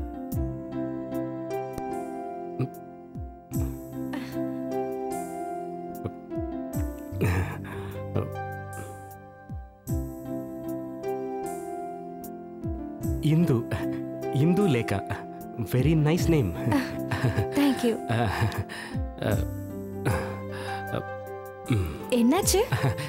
என் கம்பெனியில் ஒர்க் பண்ணுறவங்க யாராவது வந்திருக்காங்களான்னு பார்த்தேன். என்ன இந்த மாதிரி ஒரு பொண்ணு கூட பார்த்தாங்கன்னா கேலி பண்ண ஆரம்பிச்சிருவாங்க. ஏன் அவங்க யாரும் பொண்ணுங்களை கூட்டிட்டு வர மாட்டாங்களா? குட் கொஸ்டின் ரொம்ப வேடிக்கையாக தான் பேசுறீங்க. பிரச்சனை அது இல்லை. நான் அமெரிக்காவில் படிச்சிருந்தாலும் லைஃப்ல இதான் ஃபர்ஸ்ட் டைம் ஒரு பொண்ணோட தனியாக வர்றது. நீங்களும் இதே மாதிரி தானே உங்கள் முகத்தை பார்த்தாலே தெரியுது. ஆமா கரெக்ட் உங்களை பத்தி நான் நினைச்சது தப்பாகல. Your very cute and intelligent person Rajendra அங்க பாரியா? ஓஹோ. இந்து நீ ஆல்கஹால் எடுத்துக்கிறதுண்டா? ஐ மீன் ஆல்கஹால் இல்ல. பியர் ஷாம்பேன் எதுவுமே இல்லையா? இது ஒண்ணு அமெரிக்கா இல்ல இந்த காலத்துல பியர் டேஸ்ட் தெரியாத ஒரு காலேஜ் கால வண்டர்ஃபுல் காலேஜ்ல இருந்து டூர் போறப்ப கொஞ்சம் பீர் சாப்பிட்டிருக்கேன் அவ்வளவு அப்படி சொல்லு. இந்த உலகத்தை நினைச்சா எனக்கு சிரிப்பா வருது. ஏன்னா பியரை ஆம்பளைங்க சாப்பிட்டாங்கன்னா அதை சரக்குங்கிறாங்க. அதே பொண்ணுங்க சாப்பிட்டா அது சாஃப்ட் ட்ரிங்க்ஸுங்கிறாங்க அந்த ஆளு பேசுறத கேட்டு ஓலவர் சிரிக்கிறாளே. ஆஹா, அவளை நான் எந்த குறையும் சொல்லல. அவனை பாத்தியா? உன்ன மாதிரியா? பார்க்கவே கம்பீரமா இருக்கான் நீ எல்லாம் இந்த மாதிரி ஹோட்டல்ல சாப்பிடணும்னா பிச்சை தான் எடுக்கணும் எனக்கு சப்போர்ட் பண்ண வந்தியா? இல்ல அந்த ஆளுக்கு சப்போர்ட் பண்ண வந்தியா? சரி சரி நீ கவலைப்படாத. அந்த ஆளை நான் பாத்துக்கிறேன். உண்மையை சொல்லணும்னா இது வரைக்கும் நான் கல்யாணத்தை பத்தி யோசிக்கவே இல்லை. அது மட்டும் இல்ல நான் இதான் ஃபர்ஸ்ட் டைம் கல்யாணம் பண்ணிக்கிறேன். அது வந்து எல்லாருக்கும் முதல் தடவை ஒரு கல்யாணம் நடக்கும்ல அதை சொன்னேன். அவ்வளவுதான். ஐ மீன் முதல் தடவையா கல்யாணம் பண்ணும்போது அது அது வந்து நான் சாரி தப்பா நினைச்சுக்காதீங்க. எதையோ சொல்ல போய் நான் எதையோ சொல்ல வந்துட்டேன். பாத்தியா? எப்படி சிரிக்கிறா? இவளே நீ லவ் பண்ண? பொம்பளைங்களை நம்பவே கூடாது. நாம அவனை வாட்ச் பண்ணதான் இங்க வந்திருக்கோம். அவன் என்ன பண்றான்னு மட்டும் பாரு. அனிமூனை பத்தி நீ ஏதாவது பிளான் வச்சிருக்கியா? கேட்குறேன்னு தப்பா எடுத்துக்கலையே. ஏன்னா இதை பத்தி நான் ரொம்ப டீட்டெயில் பிளான் வச்சிருக்கேன். ம் ம் உன் லவர் கூட ஹனிமூன் பிளான் பண்றான். பொண்ணுங்களை நம்ப கூடாதுன்னு பல புக்ல நான் படிச்சிருக்கேன். ஆனா என் வாழ்க்கையில இப்படி நடக்கணும் நான் கொஞ்சம் கூட எதிர்பார்க்கவே இல்லை. நேர போய் அவன் மூஞ்சிலே ஒண்ணு வச்சிடலாமான்னு அமைதியாரா ஹலோ ஆ கோபி சொல்றா. அது ஃபோனை மியூட்ல வச்சிருந்தேன் இப்பதான் கவனிச்சேன். மறப்பனா? Nine o'clock Le Meridien okay okay ஒருவேளை என் கூட ஒரு ஸ்பெஷல் கெஸ்ட் வந்தாலும் வருவாங்க. ஓகேடா பாய் உனக்கு பூஜா ஞாபகம் இருக்கா? அன்னைக்கு காலேஜில் கூட உன்னை மீட் பண்ணாளே. ஓ தெரியுமே. அவ ஒரு சிங்கர் இன்னைக்கு லீ மெரிடியன்ல அவளோட ப்ரோக்ராம் ஒன்று இருக்கு. With dinner if you don't mind நம்ம அங்கே போலாம்ல? ஐயோ ராத்திரி ஆயிடும். கல்யாணத்துக்கு முன்னாடி இங்கெல்லாம் போக வேண்டாம் அப்பா ஏதாவது சொல்வாரு அதான் பயமா இருக்கு லேட் ஆயிடும்ல பூஜா வாசுதேவன் எனக்கு அவளை நல்லா தெரியும் உனக்கு சொன்னா புரியாது இன்னைக்கு அவங்க போற அதே ப்ரோக்ராமுக்கு நாமளும் போறோம் இனி உன் வாழ்க்கை என் கையில தம்பி Shake your body to the rhythm of a groove, rhythm of a groove, rhythm of a groove now. Shake your body to the rhythm of a groove, rhythm of a groove, rhythm of a groove now.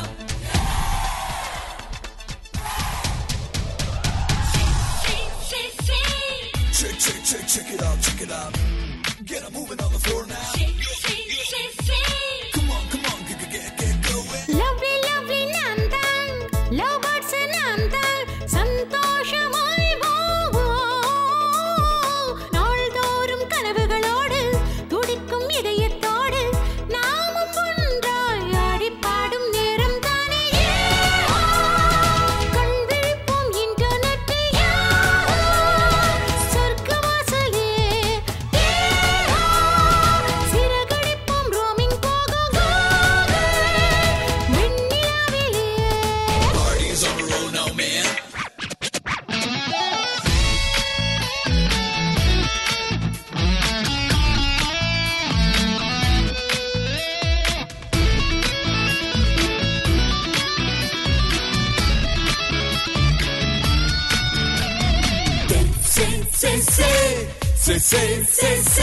அவலைகளின்றி வாழ்வோம். வானத்தை தொட்டு விடும் பறவைகளாவோம்.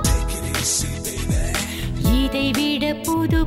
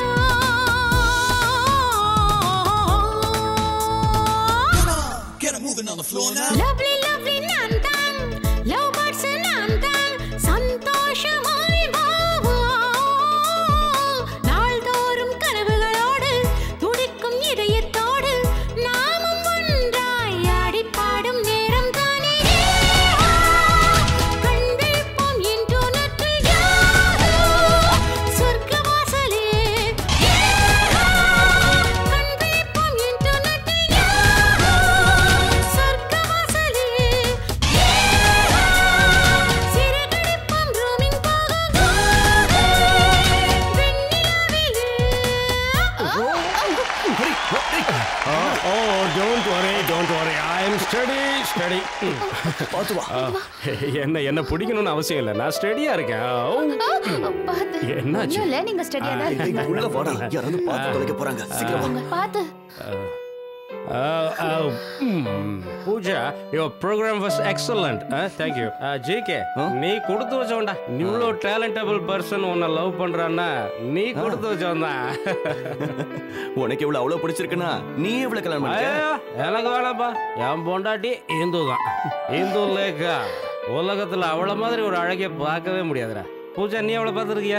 நல்லா கேட்டீங்க. நான் தானே அவளை உங்க கூட சேர்த்து வச்சேன். இன்னைய வரல எனக்கு கல்யாணம்னாலே ஒரு பயம். அதனால தான் நான் வேணாம் வேணாம் ஏன்னா ஃபர்ஸ்ட் நைட்ல என்ன பண்றது? யூஎஸ்ல படிச்சிருந்தாலும் இந்த விஷயத்துல எனக்கு எக்ஸ்பீரியன்ஸே இல்ல. ஆனா பூஜா இது வரைக்கான உன்னோட உற்பி ஜிகே அவன் இந்த விஷயத்துல எல்லாம் எல்லாத்தையும் அவன் எக்ஸ்பீரியன்ஸ் கரைச்சு குடிச்சிட்டான். பூஜா நீ கொஞ்சம் இங்க வாய ப்ளீஸ் பிசைட் த சீட் ஒரு அழகான பாட்டு எனக்காக பாடுவியா? அது எப்படின்னா கண்ணால எனது கண்ணை நேற்றோடு காணவில்லை. என் கண்களை பறித்து சென்று ஏனென்று தெரியவில்லை. கண்ணாளனே நேற்று முதல் காணவில்லை. பூஜா இங்க வா. வாங்குறல்ல நான் பாடுறேன் நீ தாளம் போடு வா. தூக்கம் வர மாட்டேங்குத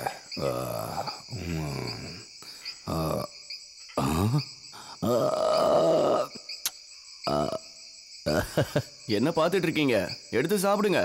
அப்புறம் ஸ்காட்ச் வாங்கி தரலன்னு ஊர் ஃபுல்லா கம்ப்ளைண்ட் பண்ணுவீங்க. நான் எதுக்கு உங்களை தப்பா பேச போறேன் மிஸ்டர் ஜிகே ஏன் தெரியுமா? நீங்க தான் பெரிய மனுஷங்களா இருக்கீங்களே. இல்லைன்னா இன்னைக்கு காலையில என் பொண்ணை உங்களுக்கு கட்டி தரேன்னு நான் ஏன் யோசிக்கணும்? ம், ம். நல்லா யோசிச்சுங்க போங்க. ஆனா நான் கோடீஸ்வரனா ஆனதுக்கு அப்புறம் கட்டி கொடுக்கணும்னு யோசிச்சீங்க பாத்தீங்களா? அதுதான் தப்பு. நீ கோடீஸ்வரன் ஆகு இல்ல ஏதாவது ஆகு. ஆனா என் பொண்ணை நீ நல்லா பாத்துக்கணும். எனக்கு அதுதான் வேணும். ஏன்னா வாழ்க்கைன்றது ஒரு தடவை தான் வரும். அங்கதான் அங்கிள் நீங்க தப்பு பண்றீங்க. பணங்கிறது ஒரு முறை தான் வரும். பணம் இருந்தா எந்த சொர்க்கத்துல வேணாலும் வாழ முடியும். எப்பேற்பட்ட அழகு தேவதையா இருந்தாலும் நம்ம கிட்ட வேலைக்கு வரும். தினமும் இந்த மாதிரி ப்ளூ லேபிள் சரக்கு அடிக்கலாம். போலீஸையும் அதிகாரிகளையும் வீட்டு வேலைக்காரங்க மாதிரி யூஸ் பண்ணலாம். உலகத்துல இருக்கிற எந்த காலேஜ்ல இருந்து வேணாலும் டாக்டரேட் சர்டிபிகேட் வாங்கலாம். அது மட்டும் இல்ல இந்தியன் பிரசிடென்ட் கிட்ட இருந்து அவார்டு வேணுமா? அதுவும் வாங்கலாம். இருந்தாலும் நீ ரொம்ப பேசுறிய ஜிகே என்னத்த பேசுற அங்கிள் பணம் இருந்ததுன்னா என்ன வேணாலும் பேசலாம் அங்கிள் தெருவுல பிச்சை எடுத்துட்டு இருக்கான் பாத்தீங்களா? அவன் கிட்ட பணம் கிடைச்சதுன்னு வச்சுக்கோங்களேன் அவனும் இந்த மாதிரி தான் பேசுவான். அதுதான் உண்மை. ஆ பணத்தை பத்தி நீ பயங்கரமா பேசுறிய. நீ என்ன சொல்ற? பணம் இருந்தா சீஃப் மினிஸ்டர் கூட நம்ம கால்ல வந்து விழுவான். அதை தானே நீ சொல்ற? அதெல்லாம் ஒண்ணுமே இல்லாத விஷயம். இதுதான் ஐடியாலஜி சரியான விதத்துல சரியான நேரத்துல நம்ம பணத்தை கரெக்டா யூஸ் பண்ணோம்னா அதை விட பெரிய விஷயங்களை எல்லாம் சாதிக்க முடியுங்கிறது தான் இந்த ஜிகேவோட ஐடியாலஜி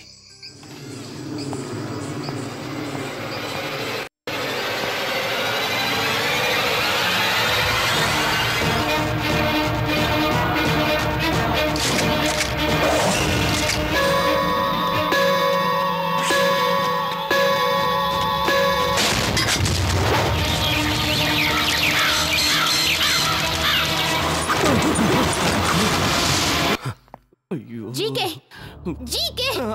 எங்கடா ஓடுற? நில்றா. என் கேள்விக்கு பதில் சொல்லிட்டு எங்க வேணாலும் போ. ஷர்ட்ல இருந்து கையடி யாராவது பார்த்தாங்கன்னா கேவலமா இருக்கும். ஓ நீ வெக்கம் மானத்தை பத்தி பேசுறியா? உனக்கு அப்படின்னா என்னன்னு கூட தெரியாது. சொந்த லவரைய பணத்துக்கு ஆசைப்பட்டு வேற ஒருத்தனுக்கு கூட்டி கொடுத்தவன் தானே நீ? ஏய் ஓவரா பேசுற. நான் அந்த மாதிரி யோசிக்கவே இல்ல. ரெண்டு ரவுண்ட் அடிச்சதுனால கொஞ்சம் போதையாகி கதவை சாத்திட்டு போயிட்டேன். அது மட்டும் இல்ல நீ கலங்கப்பட மாட்டேன்னு எனக்கு தெரியும். அதோட உள்ள இருக்கிறது என்னோட பெஸ்ட் ஃப்ரெண்ட் ஹரி. அதனால? உனக்கு விஷயம் புரியல. நம்ம எதுக்கு இவ்வளவு கஷ்டப்படுறோம்? பணம் சம்பாதிக்க தானே இந்த பணம் எதுக்கு சம்பாதிக்கிறோம்? நமக்கு தானே? அடுத்த வருஷம் கோர்ட்ல உங்க அப்பா அஞ்சு லட்ச ரூபா பணம் கட்டணுமே அதுக்கு பணம் தேவையில்லையா? அத பத்தி நீ கவலைப்படாத. ஆனா இன்னொரு தடவை இந்த மாதிரி நீ என்கிட்ட நடந்துகிட்ட அதுக்கப்புறம் இத பார். வாழ்க்கையில சில நேரங்கள்ல சில விஷயங்களை விட்டு போகணும். அப்பதான் வாழ்க்கையில முன்னேற முடியும். இதுதான் ஜிகேவோட ஸ்டைல் உன்னோட இந்த கேவலமான ஐடியாலஜில என்கிட்ட வேண்டாம். வேண்டான்னு சொல்லிட்டு தப்பிக்க முடியாது. இங்க பார். நானும் நீயும் கோடீஸ்வரன் வாழ்க்கையை வாழணும். அந்த கனவை நம்ம கல்யாணத்துக்கு முன்னாடி நான் நிறைவேற்றணும் அதுதான் என்னோட லட்சியம். நீ என்ன பண்றனா அந்த ஹரி கிட்ட இருந்து சைன் மட்டும் வாங்கணும். முடியாது. ஹரிய பாக்குறதுக்கு எனக்கு ஒரு மாதிரி இருக்கு. நீ எதுக்கு ஃபீல் பண்ற? அவன் இப்ப அந்த இந்துவோட போட்டோ வச்சுக்கிட்டு ஜாலியா இருப்பான். நல்ல மூட்ல இருப்பான். இதுதான் சரியான டைம் உன்- உன்ன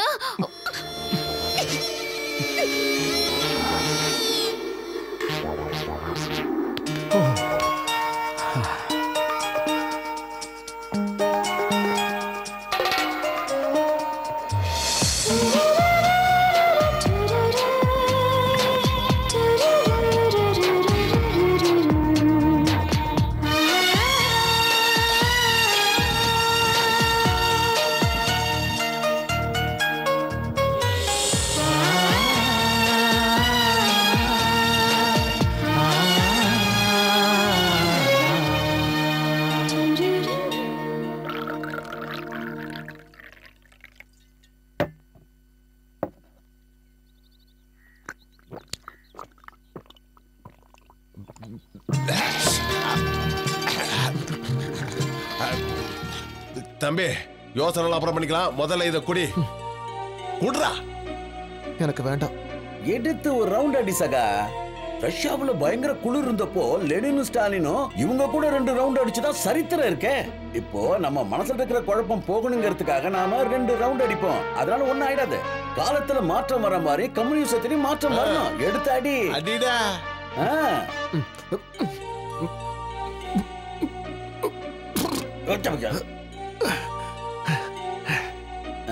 ஒரு வழியா குடிச்சிட்டா. அவள நடிச்சு வருத்தத்தில் இருக்கான் போல இருக்கு அவ போனா போட்டும் சகா. பணக்கார வர்க்கத்தோட புத்தி அவ காட்டிட்டா பாத்தியா? நம்ம ஆளோட நிலைமை பாத்தீங்களா? தேவதாசை விட மோசமா ஆயிட்டான் என்னால இத தாங்க முடியல. என்னையும் ஒரு பெண்ணு நேசிச்சா. என்னோட காதலி வள்ளி. ரோமியோ ஜூலியட்டோட காதல் கதையை கேட்டிருக்கீங்களா? அப்படி ஒரு அற்புதமான காதல் கதை எங்கள் கதை.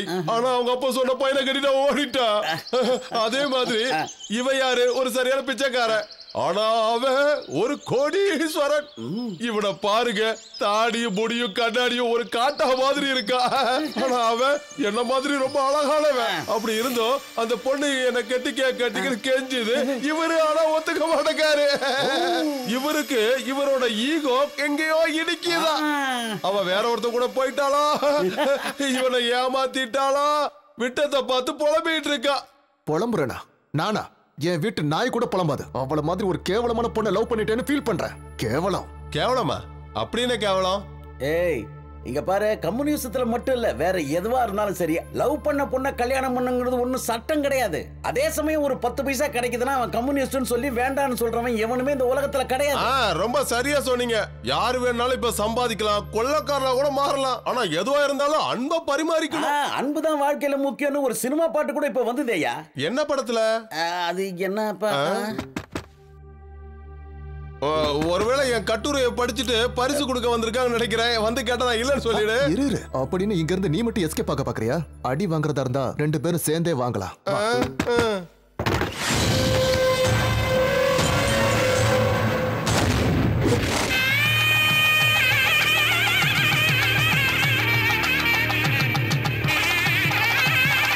வரமாட்டான். அவன் நிச்சயமா வரமாட்டான்.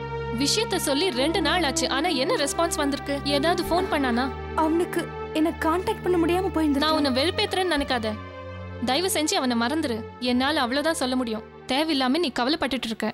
ஆஹா இன்னும் அலங்காரம் தான் பண்ணிட்டு இருக்கீங்களா? முகூர்த்தத்துக்கு டைம் ஆச்சுல்ல?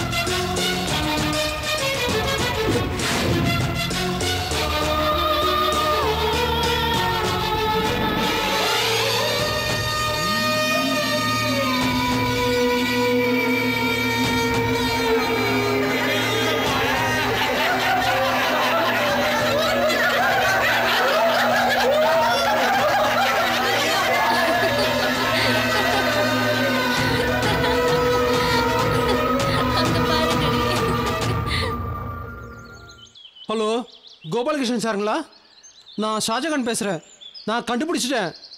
சார் இங்கே தான் இருக்காரு போட் கிளப்பில் இருக்க அந்த வீட்டில் ஆமாம் சார் இங்கே தான் கார் இங்கே தான் இருக்குது ஆனால் காலிங் பில் அடித்தா யாரும் திறக்க மாட்டுறாங்க மன கஷ்டத்தில் ஏதாவது தப்பான முடிவு எடுத்துருவாரோ பயமாக இருக்குது கல்யாணம் முடிஞ்சவொடனே இந்த வீட்டை அந்த பொண்ணுக்கு கிஃப்டாக கொடுக்கணும்னு கட்டினாரு.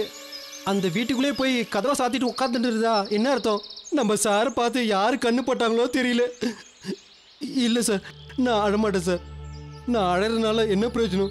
நடக்கக்கூடாது நடந்துருச்சு. சார் நீங்கள் கொஞ்சம் சீக்கிரம் வாங்க. சார் யாரையும் காணுமே. அந்த பொண்ணை கல்யாணம் பண்ணி அவ கூட இந்த வீட்டில் வாழணும்னு அனிமன் கொண்டாடணும்னு ஆசைப்பட்டாரு. ஆனால் என்ன பண்ணுறது அவன் அவன் என்ன எழுதி வச்சிருக்கோ அதெல்லாம் நடக்கும்? ஆ?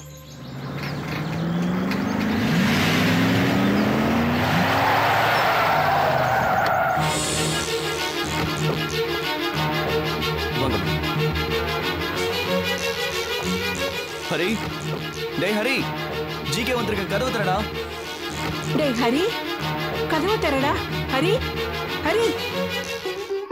என்னடா ஹரி? நீ எதுவும் பேசாம இங்க வந்துட்ட? என்ன எதுக்காகமா தொந்தரவு பண்றீங்க? தயவு செஞ்சு என்ன தொந்தரவு பண்ணாம போங்க ப்ளீஸ். ஹரி! டேய்! எனக்கு இப்ப கல்யாணமே வேண்டான்னு உங்ககிட்ட எவ்வளவு கெஞ்சி கேட்டேன். நான் என்னெல்லாம் கனவு கண்ட தெரியுமாமா கடைசியில என்னாச்சு பாத்தீங்களா? காத்துல கரைஞ்ச மாதிரி ஆயிடுச்சு. இனிமே என்ன சுத்தி இருக்கிறவங்கள நான் எப்படி பார்ப்பேன்? நான் கல்யாணத்துக்கு முன்னாடி எவ்வளவு யோசிச்சேன்னு எனக்கு தான் தெரியும். இப்ப எல்லாமே காணல் நீரா போச்சுமா இதுல உன் தப்பு என்னடா இருக்கு? அவ்வளவு மோசமான பொண்ணு நம்ம குடும்பத்துக்கு மருமகளா வரலையே நீ சந்தோஷப்படு. உனக்கு நான் வேற ஒரு அழகான பொண்ணா பாக்குறேன்டா. வேண்டாம்மா. எனக்கு இனி கல்யாணமே வேண்டாம். தயவு செஞ்சு. என்ன தொந்தரவு பண்ணாம இங்க இருந்து போயிடுங்க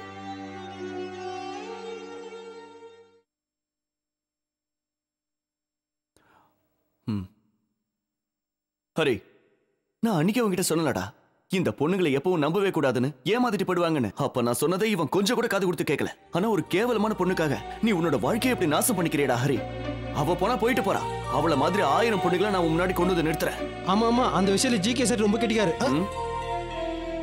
ஹரி உனக்கே தெரியும். நம்மளோட கம்பெனி இப்ப லீடிங் பொசிஷன்ல வந்துகிட்டு இருக்கு. உன் சிக்னேச்சர் இல்லாம எந்த ஃபைல்ஸும் மூவ் ஆகாது. ஆயிரக்கணக்கான குடும்பங்கள் இப்ப உன்னை நம்பி இருக்கு. அவங்க எல்லாரோட வாழ்க்கையை நாசம் பண்ண போறியா? நான் என்னடா தப்பு பண்ணேன்? எனக்கு எதுவுமே புரியல. நீ சொல்ற இந்த மதிப்பான வாழ்க்கையை இவ்வளவு மட்டமா மாத்துற அளவுக்கு நான் அவளுக்கு என்னடா துரோகம் பண்ண எனக்கு இப்ப முப்பது வயசாகுது.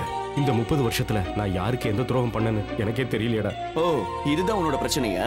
டேய் தப்பு உன் பேர்ல இல்லங்கறத முதல்ல புரிச்சுக்க அந்த பொண்ணோட அப்பா கிருஷ்ணன் சரியில்லை நான் அன்னைக்கே உன்கிட்ட சொன்னேன். அந்த ஃப்ராடோட பொண்ணு கண்டிப்பா ஃப்ராடா தான்டா இருப்பா. கோடி கணக்குல செலவு பண்ணி இந்த வீட்டை கட்டின முட்டாள் நீ தாண்டா அவ கிடையாது. டேய் இப்போ வந்து நீ அவளை பத்தி தெரிஞ்சுக்கிட்டு சுதாரிச்சுக்கிட்டே அது வரைக்கும் சந்தோஷம். சரி வா சீக்கிரம் ரெடி ஆயிட்டு ஆஃபீஸ்க்கு போலாம்.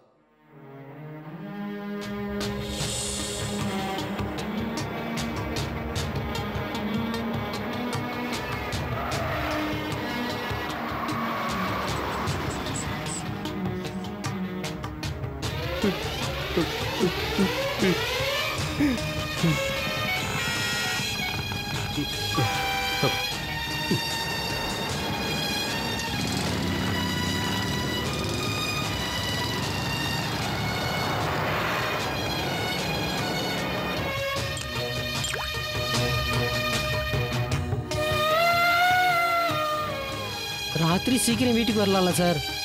போலாம் வாங்க சார். இங்க இருந்து போறியா இல்லையா? நீங்க வருவீங்கன்னு எல்லாரும் ஆபீஸ்ல வெயிட் பண்ணிட்டு இருக்காங்க. இனிமே எதுக்குடா ஆபீஸ் போ சொன்னா போவியா.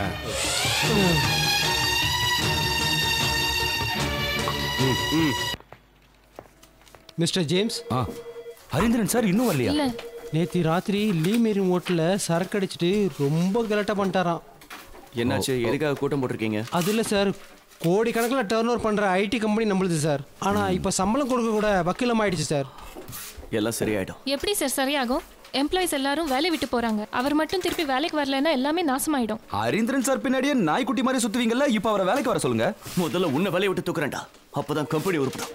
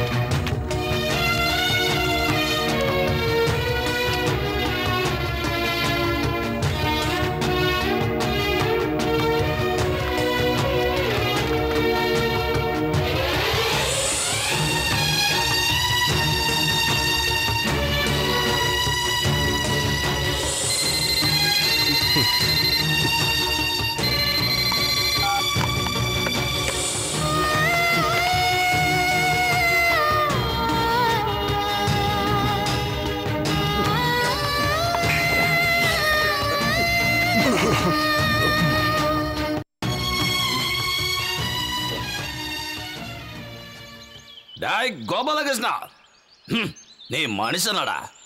புராணத்துல இருந்த கோபாலகிருஷ்ண ஆயிரத்தெட்டு பொண்ணோட இருந்தான்னு கேள்விப்பட்டிருக்கேன். ஆனா எந்த பொண்ணையும் கூட்டி கொடுத்ததில்லடா. ஆனா இந்த ஜிகேன்ற கோபாலகிருஷ்ண ஒரு மாமா பையன் பொண்ணுங்களை கூட்டி கொடுக்கிற மாமா பையன் எங்கடா இருக்க? வெளியே வாடா. வந்துட்டியா? வாடா என் பொண்ணோட வாழ்க்கை நாசம் பண்ண வந்தடா நீ? முதல்ல உள்ள வாங்க. போடா. நான் எதுக்குடா வரணும்? என் பொண்ணோட வாழ்க்கையை நாசம் பண்ணிட்டியாடா. உங்களெல்லாம் நிக்க வச்சு கொல்லணும்டா. please சத்தம் போடாதீங்க. உள்ள வாங்க. நீயும் இங்க தான் இருக்கியா. ஒண்ணு உள்ள வாங்க. இத பாத்தியா?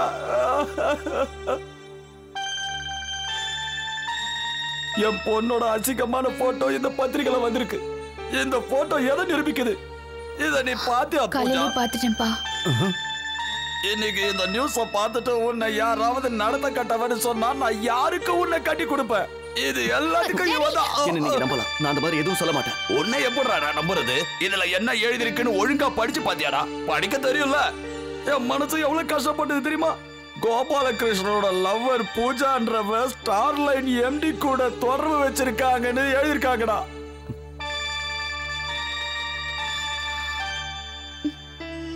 எனக்கு வசதி இல்லைனாலும் என் பொண்ணை நல்லபடியா தான் வளர்த்தேன்.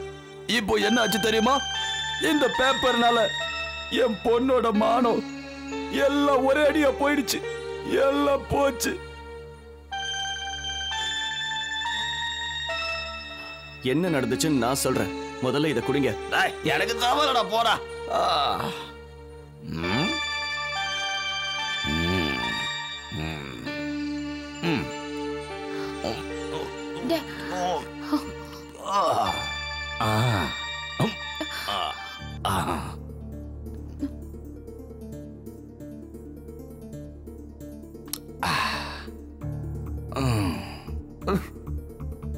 ஒரு பாவி. காசு இருக்கும் போது எத்தனை பேருக்கு உதவி செஞ்சேன் ஆனா இப்ப எல்லாரும் எனக்கு கேலி பண்றாங்க. என் சொந்தக்காரங்க கூட என்ன மதிக்கிறதே இல்ல. ஆனா நீ சே போடா. நீ கொடுக்குற சரக்கு வாங்கி குடிச்சிட்டு உன்னை அடிக்கிறதுக்கு மனசு வரலடா. என் பொண்ணை தயவு செஞ்சு கைவிட்டுறாத அவ்வளவுதான் நான் அவகிட்ட கேட்டுக்கிறேன்.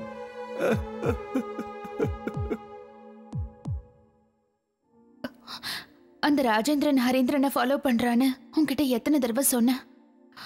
நீங்க யாரும் அதை கண்டுக்கவே இல்லை. பொண்ணோட வாழ்க்கை. ஆ, ம், ஆ.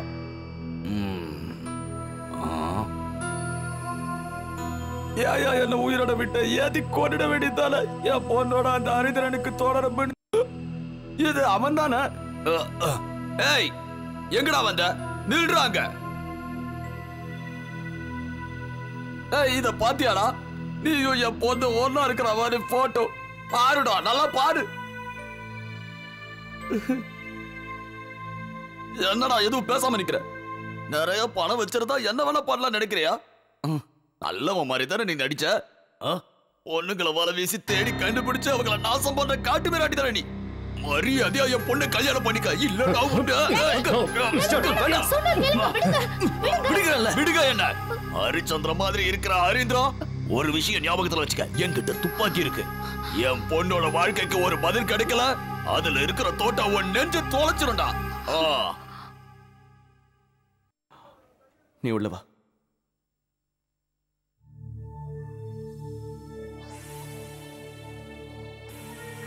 வா I am really sorry about that it's okay இந்த அன்னைக்கு நீ என்கிட்ட தந்த டாக்குமெண்ட்ஸ் கம்பெனியோட டைரக்டரை ஜிகே அப்பாயிண்ட் பண்ணிட்டேன் இப்போதைக்கு சேர்மன் சைனிங் அத்தாரிட்டியும் உனக்கு கொடுத்துட்டேன் சேர்மேனா எனக்கா? ஆமாண்டா. இனிமே என்னால் எதையும் பார்த்துக்க முடியாது. முந்தி மாதிரி என்னால் எதுலேயும் கான்சென்ட்ரேட் பண்ண முடியல. இதே ரேஞ்சில் போச்சுன்னா நம்ம கம்பெனி சுத்தமாக நாசமாயிடும்.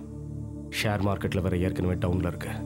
இது நம்ம கம்பெனியோட ஸ்டாஃப்ஸ் வாழ்க்கையை தான் நாசமாக்கும். அது மட்டும் இல்லை நீயும் ரொம்ப நாளாக டைரக்டர் ஆகணும்னு ஆசைப்பட்டுக்கிட்டு இருந்தல்ல. அதான்.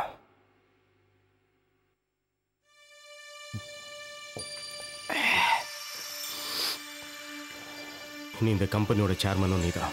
குட் லக் நில்லுடா. அப்படின்னா நீங்க போற? பயப்படாதடா. கண்டிப்பாக நான் சூசைட் பண்ணிக்க மாட்டேன்.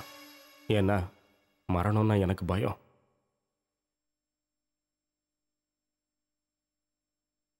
இந்த ஃப்ளாட்டோட சாவி.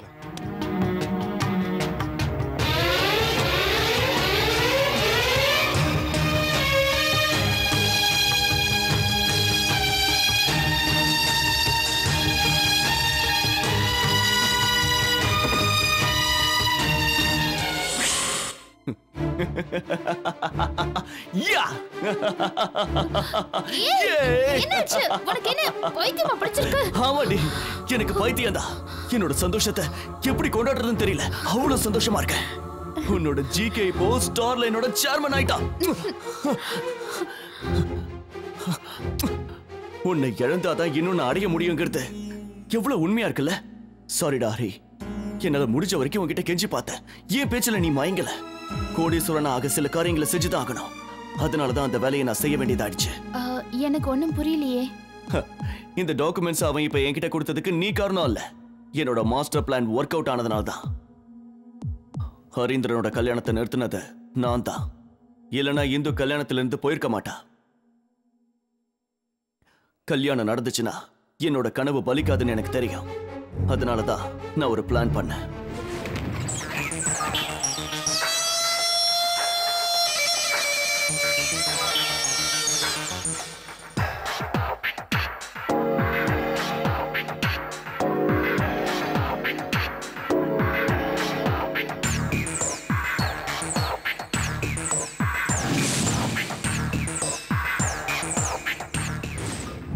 கோபாலகிருஷ்ணன் ஹரீந்திரனோட பெஸ்ட் ஃப்ரெண்ட் தெரியும் சொல்லியிருக்காரு. அப்பா தூங்கிட்டு இருக்காரா அப்பாவும் அம்மாவும் கோயிலுக்கு போயிருக்காங்க இப்போ வந்துருவாங்க.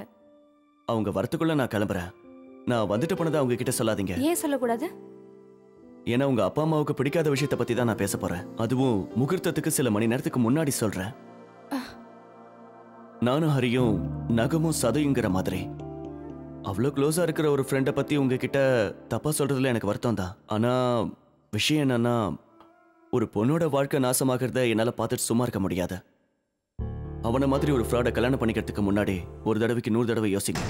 உங்களுக்கு நான் சொல்றதுல நம்பிக்கை இல்லைன்னா அதுக்கான ஆதாரத்தையும் நான் கொண்டு வந்திருக்கேன்.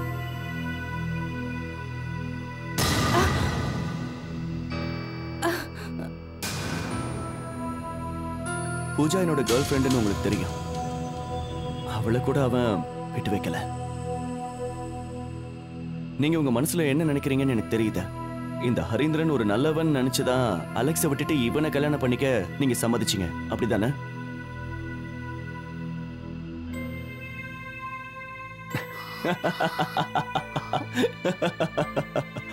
அதான்டே ஜிகே ஐடியாலஜி.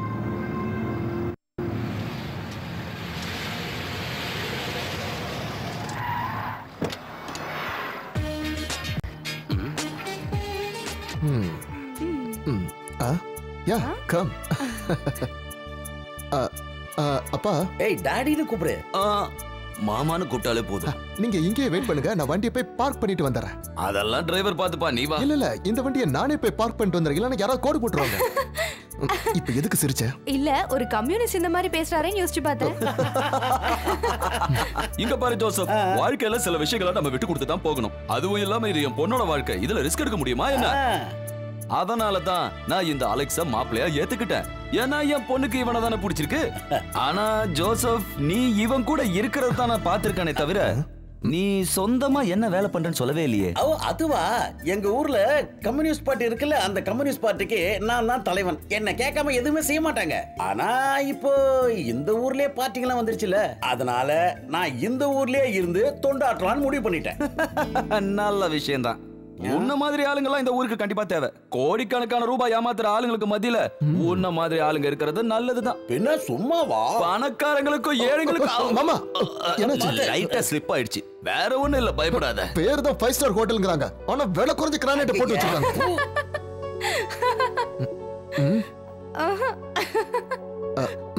உண்மையிலேயே உங்க நல்ல மனசு எனக்கு என்னைக்கு தான் புரிஞ்சுது இல்லன்னா இவ்வளவு பெரிய ஹோட்டலுக்கு நீங்க ஜோசப் அண்ணனை கூட்டிட்டு வந்திருப்பீங்களா?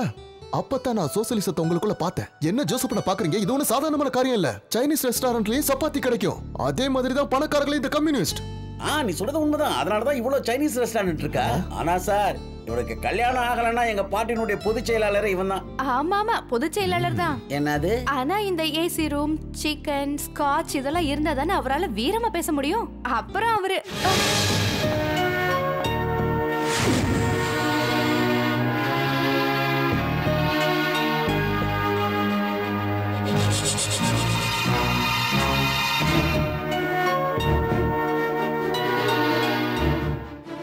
are you Harindran fine very fine எல்லாத்துக்கும் காரணம் இவன் தான் பசும்போல் போத்துன புலி. படி பசுத்தோல் போத்துன புலிய?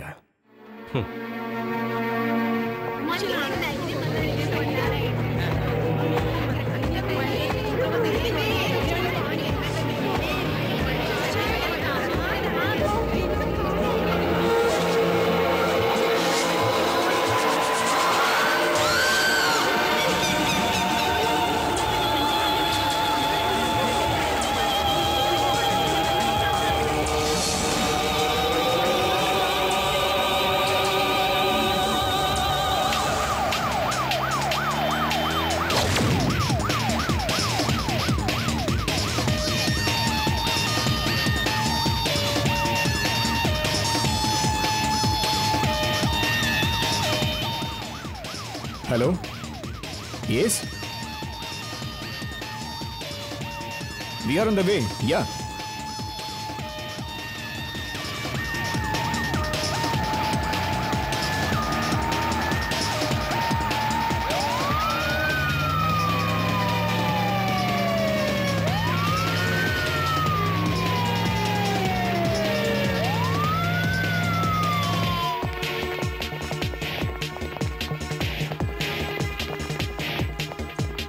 And search. என்னடா பாக்குற? வாடா.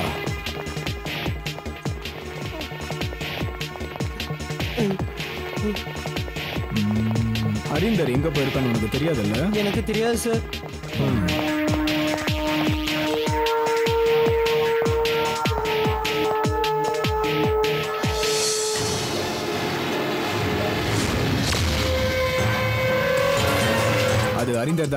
ஆமா சார். அப்ப ஏன்டா தெரியாதுன்னு சொன்ன?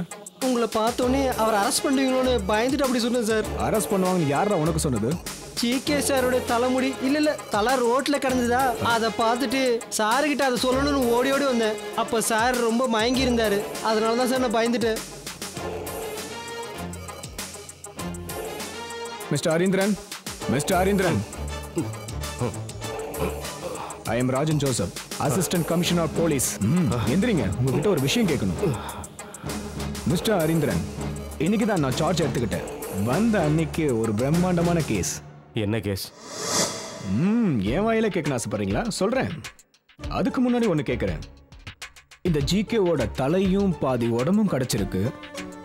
அப்போ மீதி உடம்ப எங்க வச்சிருக்கீங்க? ஜிகேயா ஜிகேக்கு என்னாச்சு? மிருகத்தனமா ஜிகேவை கொண்டு இருக்கீங்க ஹரிந்தனன் நீங்க உண்மையிலேயே புத்திசாலி தான் அதை நீங்க படிக்கும் போதே எனக்கு தெரியும். என்ன யோசிக்கிறாரு? நம்ம ரெண்டு பேரும் ஒரே பெஞ்சில் தான் உட்காந்தோம் நான் ராஜன். கோழி ராஜன் என்னை கிண்டல் பண்ணுவீங்களே அந்த ராஜன் நான் தான். ஆமா ராஜன் ஜோசப். என்ன சொன்ன? ஜிகே இறந்துட்டாரா? நீ நீ சொல்றது எனக்கு புரியல. படிக்கிற சமயத்திலேயே நீ ஃபாரின் கார்ல வந்து இறங்குற ஒரு பிரில்லியன் ஸ்டூடெண்ட் ஆச்சே நீ. என்ன கண்டாதான் உனக்கு பிடிக்கவே பிடிக்காது. ஆனா அன்னைக்கு இது எனக்கு பெரிய விஷயமாவே தெரியல. அப்பேற்பட்ட நீ எப்படி கிரிமினலான எனக்கு தான் குழப்பமா இருக்கு. சொல்லு. உன்னுடைய க்ளோஸ் ஃப்ரெண்ட் ஜிகேவை கண்டம் துண்டமா வெட்டி போடுற அளவுக்கு என்ன வெறி? என்ன பிரச்சனை சொல்லு. இல்ல. நான் யாரையும் கொல்லல. பொய் சொல்லாத. எல்லாம் எங்களுக்கு தெரியும். இல்ல. உண்மைதான் சொல்றேன். நான் எந்த கொலையும் பண்ணல. தயவு செஞ்சு என்ன நம்புங்க. நான் எந்த கொலையும் பண்ணல. ஜிகே இல்ல. ஒரு கொசுவை கொல்ல கூட எனக்கு தைரியம் கிடையாது. ஹரீந்திரன் நீங்க ஒரு ப்ரொஃபஷனல் கில்லர் மாதிரி எங்க கிட்ட ஸ்டேட்மெண்ட் கொடுக்குறீங்க. நீங்க கொலை செஞ்சதுக்கு ஆயிரம் காரணம் இருக்கலாம் மிஸ்டர் ஹரீந்திரன். ஆனா போலீஸ் உங்ககிட்ட விசாரிக்கும் போது உண்மையை சொல்றதுதான் உங்களுக்கு நல்லது எங்களுக்கு நல்லது. நீங்க சொல்ற உங்க க்ளோஸ் ஃப்ரெண்ட் ஜிகேவோட லவ்வரை வச்சிட்டு இருக்கதா நியூஸ் பேப்பர்ல வந்த நியூஸ பொய்ன்னு சொல்றீங்களா? இல்ல அதை நீங்க மறுக்க ஏன் இப்படி போறீங்களா அசிங்கமா பேசுறீங்க? நான் ஒன்னும் அவ்வளவு கேவலமானவன் இல்ல. ஜிகே எனக்கு தம்பி மாதிரி. நர்சரி ஸ்கூல்ல இருந்து நாங்க ரெண்டு பேரும் ஒண்ணா படிச்சு வளர்ந்தோம். நாங்க ரெண்டு பேரும் ஈருடல் ஓர் உயிர் மாதிரி. கிட்டத்தட்ட ஒரு தாய் பிள்ளைகள் மாதிரி தான் வளர்ந்தோம். ஆனா என் வாழ்க்கையில விதி விளையாடிருச்சு.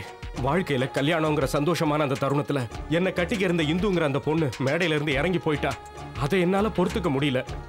மனசு அளவுல நான் ரொம்ப பாதிக்கப்பட்டேன். அப்ப கூட கோடிக்கணக்கான ரூபாய் மதிப்புள்ள இந்த சாஃப்ட்வேர் கம்பெனி அவன் பேர்ல நான் எழுதி வச்சேன். அவன் மேல எனக்கு அவ்வளவு நம்பிக்கை சார். அவ்வளவு நம்பிக்கை இருக்கிற ஒருத்தன் உங்களை ஏமாத்திட்டாங்கிறது தான் பிரச்சனையே. அந்த துரோகத்தை உங்களால தாங்க முடியாம தான் அவனை நீங்க கண்டந்துடமா விட்டிருக்கீங்க. சேர்மன் போஸ்ட்டை மட்டும்தான் நீங்க அவருக்கு ட்ரான்ஸ்ஃபர் பண்ணிருக்கீங்க தவிர உங்க அக்கவுண்ட்ல இருக்கிற பணத்தை எதையுமே நீங்க ட்ரான்ஸ்ஃபர் பண்ணல. அதெல்லாம் உங்க அக்கவுண்ட்ல தான் இருக்கு.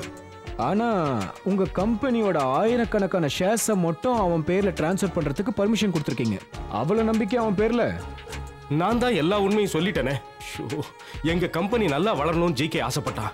அதனால அவன் மேல எனக்கு எந்த சந்தேகமும் இல்லை. ஓகே ஓகே கூல் நம்ம ஊர்ல நடக்கிற முக்கியமான சம்பவங்களை சர்ச்சை பண்ணி தீர்வுக்கு கொண்டு வரதுக்காக தான் இந்த ப்ரோக்ராமோட நோக்கமே. எல்லாருக்கும் வணக்கம்.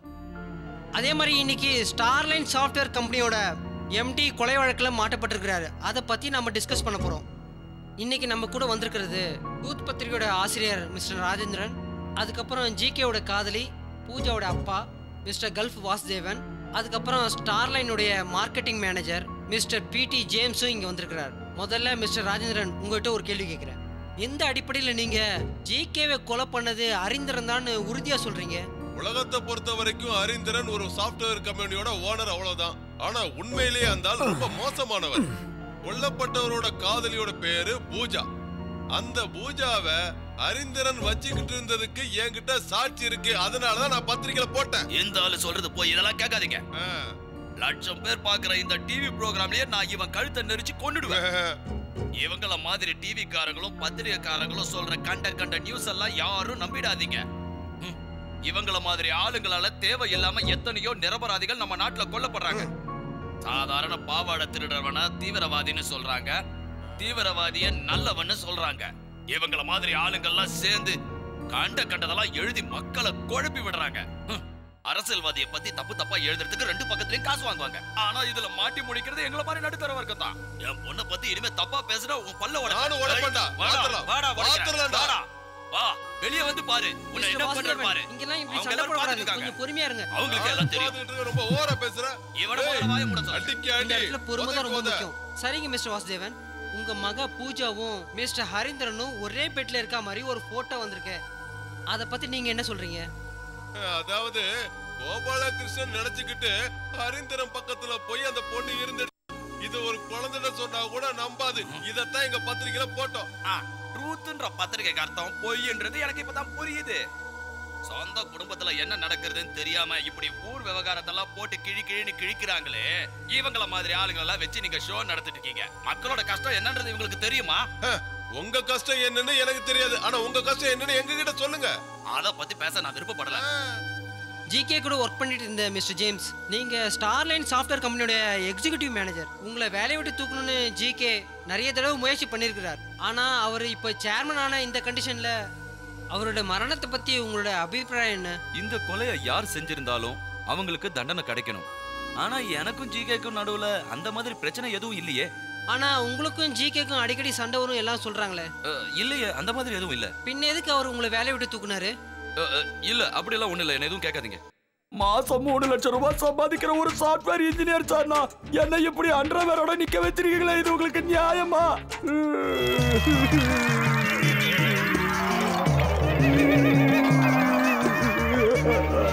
போலீஸ் சரினா உனக்கு என்னன்னு தெரியுமா? போலீஸ் அடியா? அது எதுக்கு சரிப்பா அப்ப நான் உண்மையை சொல்லு. சொல்றா. நீ தானே ஜிகே கொன்ன. ஒரு ஆளை கொல்ற அளவுக்குலாம் எனக்கு தெரியல சார். பின்ன என்னடா டிவி ப்ரோக்ராம்ல உன் வாயெல்லாம் வளருச்சு? அது ஜிகேவை கொல்லணும்னு எனக்குள்ள ஆசை இருந்துச்சு. ஆனா ஜிகே கம்பெனி சேர்மன் ஆன பிறகு எனக்கு ஒரு பயம் வந்துடுச்சு. அப்படி என்ன உனக்கு ஜிகே மேல கோவம்? அதை சொல்லு முதல்ல.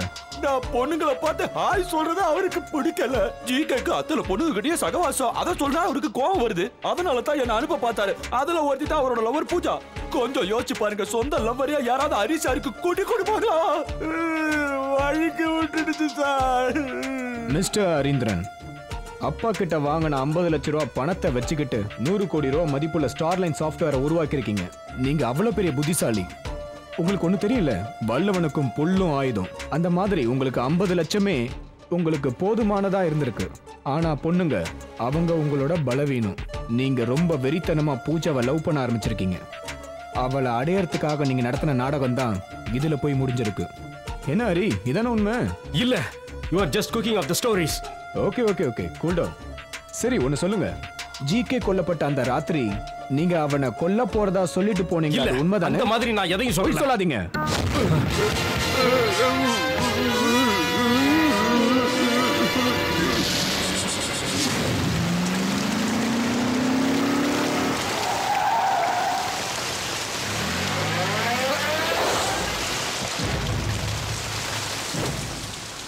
ஐயோ என்ன ஒண்ணு பண்ணாத. நான் ஒண்ணு பண்ணல. ஐயோ வேடா சொல்றத கேளு. பெரிய உங்களுக்கு துரோகம் பண்ண? உண்மையை சொல்றான். அந்த போட்டோ எங்க இருந்து உனக்கு கிடைச்சது? ஒரு ஃபேமஸ் பத்திரிக்கைக்காரன் நான் என் மேலே கை வைக்கிறியா? பின்னாடி பெரிய பிரச்சனை சந்திக்க வேண்டியிருக்கும். அம்மா ஐயோ அம்மா. மரியாதையை உண்மையை சொல்றான். எங்க இருந்து அந்த போட்டோ கிடைச்சது? தாய் நாட்டுக்கு எப்படி ஒரு மிலிட்டரிக்காரன் துரோகம் பண்ண மாட்டானோ அதே மாதிரி பத்திரிக்கை தர்மத்துக்கு நான் துரோகம் பண்ண மாட்டேன்டா. சொல்ல முடியா இல்லையா? இன்னொரு வாட்டி என்ன என்னடா பண்ணுவ? உண்மையை சொல்லிடு. சொல்லுடா. என்னன்னே பண்ண சொல்ற. போட்டோவையும் அதை போறது காசு கொடுத்தா என்னென்ன பண்ண சொல்ற? யாரா அது? GK sir. அவர்தான் உங்க கல்யாணத்தை நிறுத்தவும் செஞ்சாரு. அவர்தான் என்கிட்ட போட்டோவும் கொடுத்தாரு. அவர் உங்களால எதுவும் பண்ண முடியுமா? உன்னை கொன்னுடுவேன்டா. எல்லா கொலையாளியும் முதல்ல தான் தப்பே செய்யலன்னு தான் சொல்லுவாங்க. அதுக்கப்புறம் லேசா உண்மை வரும். கடைசியில கிளிப்புள்ள மாதிரி எல்லா உண்மையும் கக்குவாங்க. ராஜேந்திரன் கிட்ட கொன்னுடுவன் சொன்ன விஷயத்த மட்டும் ஒத்துக்கிறீங்க. சரி அடுத்தது சொல்லுங்க. இப்போ ஜிகேவை கொன்னது நீங்க தானே? ஜிகேவோட மத்த பார்ட்ஸ்ல எங்க இருக்குன்னு சொல்லுங்க. செய்யாத குத்தத்துக்கு என்ன ஜெயில அடைக்கணும்னு ஆசைப்பட்டீங்கன்னா அடைச்சுக்கோங்க. அது மட்டும் இல்ல சின்ன வயசுல இருந்தே நான் உங்களுக்கு எதிரியா தானே இருந்திருக்கேன். ஒரு பணக்கார வீட்டு பையனா பிறந்ததை தவிர இந்த ஜென்மத்துல நான் வேற எந்த தப்புமே பண்ணல. சே சே சே சே சே உங்களை மாதிரி இவ்வளவு பெரிய மனுஷன் சில்லித்தனமா பிகவ் பண்ணலாமா? மிஸ்டர் ஹரீந்திரன். இதுக்கு மேல தேவையில்லாம என்கிட்ட நடிக்காதீங்க. ஜிகேன்ற கோபாலகிருஷ்ணனோட தலை யார் பேக்ல இருந்து தெரியுமா உங்களுக்கு? சொல்லட்டுமா? அது உங்க பேக் தான். என்னோட பேக்கா கண்ணாளனே நேற்றோடு என் கண்ணை காண ஆ, இன்னும் என்ன அங்க நின்றுட்டு இருக்க? இங்க வா. உக்காரு. You are a very lucky girl என் ஜிகேவை கல்யாணம் பண்ணிக்க போற பூஜா ரொம்ப கொடுத்து வச்சவன். அவன் ஒரு அப்பாவி. அவனுக்கு எல்லாமே விளையாட்டு தான் அவனை நீ ஒழுங்கா பார்த்துக்கணும். He is my best friend he is my best friend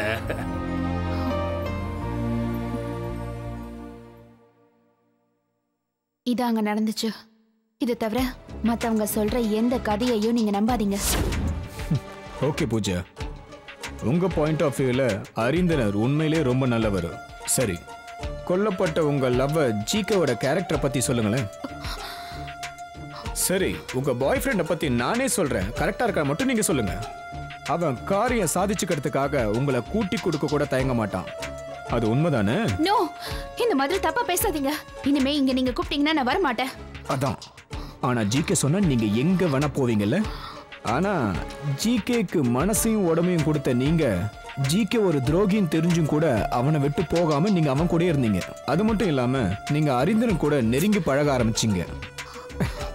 ஏன்னா அந்த ஆள் இந்த உலகத்திலே ரொம்ப நல்லவன். அது மட்டும் இல்ல இந்த உலகத்திலே பணக்காரன் கூட.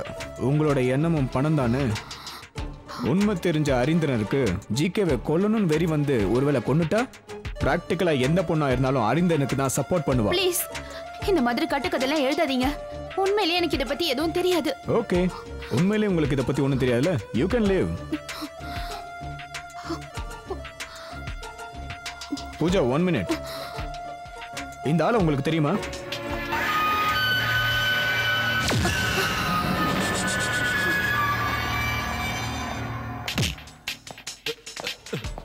இவன் பேர் சோமன். இவன் காசுக்காக கொலை பண்ற ஒரு ரவுடி. ஏதாவது கொலை நடந்துச்சுன்னா இவங்க குரூப்பை தான் முதல்ல நாங்க செக் பண்ணுவோம். ஜிகே கொல்லப்பட்ட அன்னைக்கு இவன் எங்க இருந்தான்னு நாங்க விசாரிச்சோம். அப்போதான் எனக்கு சில தடயங்கள்லாம் கிடைச்சது. அதை பத்தி நான் உங்ககிட்ட ஒண்ணு கேட்கணும். இந்த செல்போன் உங்களது தானே? இது இவங்கிட்ட இருந்தது. அப்புறம் இந்த கோட்டு இது அந்த வண்டியில இருந்துச்சு. இது உங்களோட தானே? ஹரீந்திரனோட பணத்துக்காக சொந்த காதலனே கொன்ன கொலகாரி பூஜான்னு சொன்னா ஒத்துப்பியா நீ? ஒரு பொண்ணு மனசுல இவ்வளவு கொடூரத்தனமா? தான் காதலனையே துண்டு துண்டா வெட்டி போடுற ஒரு பொண்ணை மனுஷ இனத்திலேயே சேர்த்துக்க முடியாது. ஹரீந்திரன் ஜிகேவை கொல்றதுக்காக எல்லா உதவியும் செஞ்சது நீதானே? உண்மையை சொல்லு. நோ உண்மை இது இல்ல. உண்மையை நான் சொல்றேன். இனிமே நான் எதையும் மறைக்க மாட்டேன். ஹரேந்திரனுடைய கல்யாணத்தை நிறுத்தினதும் அவரோட வாழ்க்கையை நாசம் பண்ணதும் என்னுடைய ஜிகே தாங்கிறத என்னால நம்ப முடியல. அதனால நான் ஜிகேவை பார்க்க மறுபடியும் அவன் வீட்டுக்கு போனேன். நான் வாக்கு கொடுத்தேன்னா அதை நிச்சயம் நிறைவேற்றுறது. அது உண்மைதானே? பேப்பர்ஸ் எல்லாம் ஓகே இந்த ஸ்டார்லைனோட மொத்த ஷேர்ஸையும் நீங்க உங்க பேருக்க மாத்துக்கலாம் ஜிகே ஆனா அரீந்திரன் உங்களுக்கு பவர் ஆஃப் அட்டானி கொடுத்துருக்கிறதா தானே சொன்னீங்க? அப்போ இந்த ஸ்டார்லைன் ஷேர்ஸ் எல்லாம் உங்க பேருக்கு மாறிடும்னு நினைக்கிறீங்களா? ஏன் சார்? அவன் என் பேர்ல தானே அதை எழுதி கொடுத்துருக்கான்? அவனோட மெயின் சாவி உங்க கையில இருக்குன்னு சொல்லுங்க. நீங்க நினைச்சப்பெல்லாம் திறந்துக்கலாம். அப்படித்தானே? இது வெறும் ஜிகேவோட உழைப்பு மட்டும் இல்லைங்க. இதுக்கு அவர் எவ்வளவு வேலை செஞ்சிருக்காரு இல்லைங்க? இதுக்காக என்னென்ன காரியம் எல்லாம் பண்ணிருக்காரு நாம இப்போ விஷயத்துக்கு வருவோம். Twenty five percent Starline ஆஃபீஸ்லேயே ஒதுக்கி வச்சுட்டு பாக்கி செவன்டி ஃபைவ் பர்சன்டேஜ் நான் உங்களுக்கு தர தயாரா இருக்கேன். எவ்வளவு கோடிக்கு இதை வாங்கிக்கிறீங்க? இந்த கோடி எல்லாம் வாங்கி கொண்டு போய் எங்க பதுக்கி வைக்க போறீங்க? அனில் அம்பானி முகேஷ் அம்பானி எல்லாம் ஆரம்பத்துல கஷ்டப்பட்டு தான் சம்பாரிச்சாங்க. ஆனா ஒரே நாள்ல நம்ம நண்பர் பில் கேட்ஸ் லெவலுக்கு உயர்ந்துருவாருப்பா. உங்க ஃப்ராடுக்கு நாங்க சப்போர்ட்டா தான் இருப்போம். அதே சமயம் ஸ்டார்லைன் ஷேருங்கிறதுனால பார்கெனே தேவையில்லை. எனக்கு நீங்க பூஜாவை செட் பண்ணி கொடுக்குறேன்னு சொல்றீங்க எனக்கு அவ பேர்ல ரொம்ப நாளாவே ஒரு கண்ணு இருக்கு தெரியல ஆமா நீ கூப்பிட்டா அவ வருவாளா? இவன் கூப்பிடணுங்கிற அவசியம் இல்ல. நானே வந்துட்டேன். இதுதானா பூஜா? ஏன்? போட்டோல பார்த்தா தான் தெரியுமா? ஏ ஜிகே ஒரு நிமிஷம் இங்க வா. எக்ஸ்கியூஸ் மீ ஆ போயிட்டு வா. அவங்க என்ன பத்தி அசிங்க அசிங்கமா பேசுறாங்க. நீ படுக்க சிரிச்சிட்டு இருக்க. என்ன உளற நீ? கோடி கணக்குல பிசினஸ் டீலிங் நடக்க போகுது. சில விஷயங்களை காதுல வாங்காத மாதிரி இருக்கணும். இதுல நமக்கு என்ன நஷ்டம்? உனக்கு இதுல பிரச்சனை இல்லாம இருக்கலாம். ஆனா எனக்கு இது என்னோட மான பிரச்சனை. அது மட்டும் இல்ல ஜிகே. ஹரேந்திரன் உன்னோட க்ளோஸ் ஃப்ரெண்ட் அவரை ஏமாத்தி இந்த ஃப்ராடுங்க கூட லிங்க் வச்சுக்காத. அட அறிவு கெட்டவளே. எனக்கு யாரோடையும் லிங்க் இல்ல. எனக்கு லிங்க் இருக்கிறது பணத்தோட மட்டும்தான். உனக்கும் காசு வேணும்ல? இப்பேற்பட்ட காசு எனக்கு வேண்டாம். நான் இதை ஹரேந்திரன் கிட்ட சொல்ல போறேன்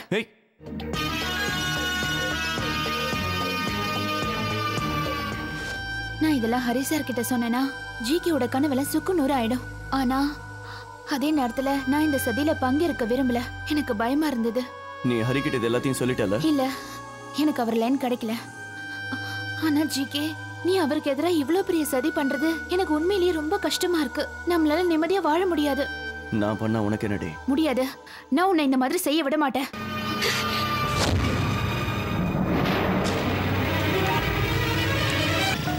அன்னைக்கு ப்ரோக்ராம் முடிய கொஞ்சம் லேட் ஆயிடுச்சு.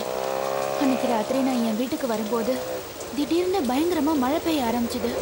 ரோட்டு ஓரமா இருந்த ஒரு கடையில நான் என் வண்டியை நிறுத்தினேன்.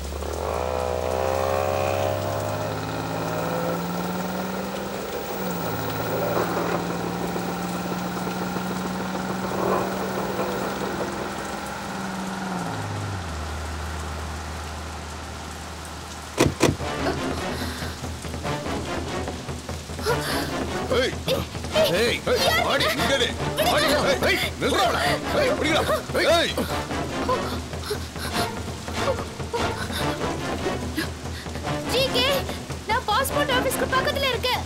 இங்க ரெண்டு மூணு ரவுடிங்க என்ன துரத்துறாங்க. என்னை காப்பாத்து. எங்களை அனுப்புனதே அவர்தான். அவர்கிட்டே உதவி கேக்குறியா? உங்களுக்கு இப்ப என்னதான் வேணும்? உன் உயிர். உன்னை கொண்டதுக்கு முன்னாடி நாங்க சந்தோஷமா இருந்துட்டு கொள்றோம் ஆடி. ஆடி. ஏய் ஆடினா என்னடி திமிர்ற?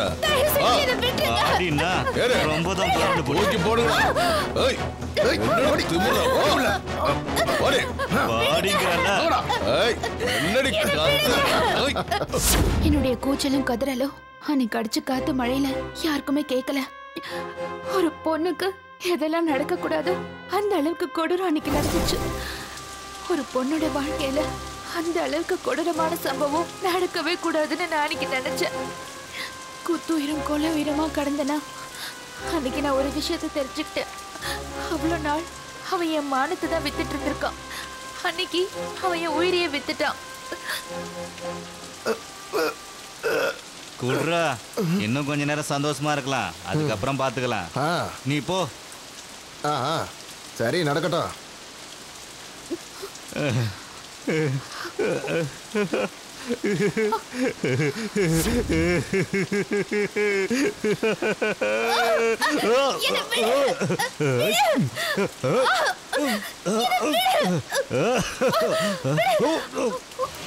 தப்பிச்சு போற பிடிக்க அவள ஏய் அவளை பிடிங்கடா. அவளை பிடிக்கடா அவங்க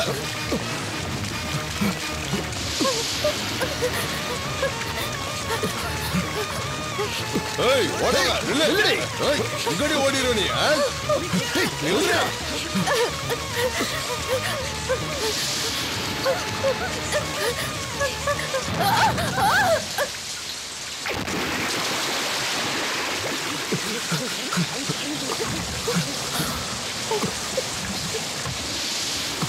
இதுல விழுந்த மாதிரி சத்தம் கேக்குற சரி விடுங்கடா நாம கொள்ளலாம்னு பார்த்தோம். அவளே. வேலை மிச்சம். வாங்க வாங்க.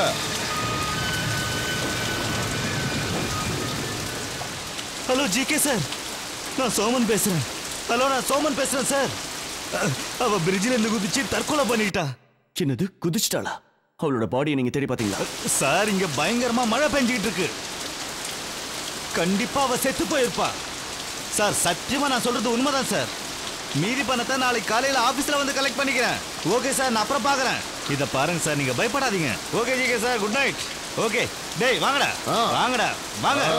நம்ம வேலை முடியுது.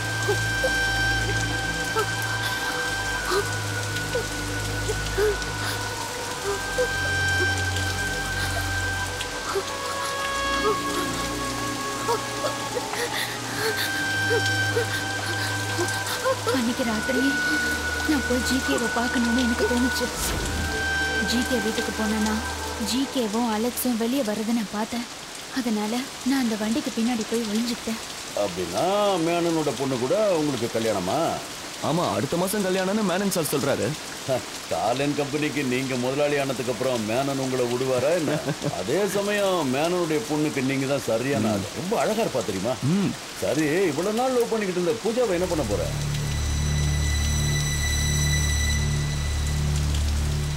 சரி அவளை பத்தி என்ன நினைக்கிற? ஆ, அவளை பத்தி என்ன சொல்றது? அவ கேரக்டர் சரியில்லை. அவ கூட எல்லாம் கல்யாணம் பண்ணிட்டு நிம்மதியா வாழ முடியாது. அவளெல்லாம் பத்தோட பதினொன்னா தான் வச்சுக்க முடியும். சரி ரிஜிஸ்ட்ரேஷனுக்கு மறக்காம வந்துருங்க. Okay good night good night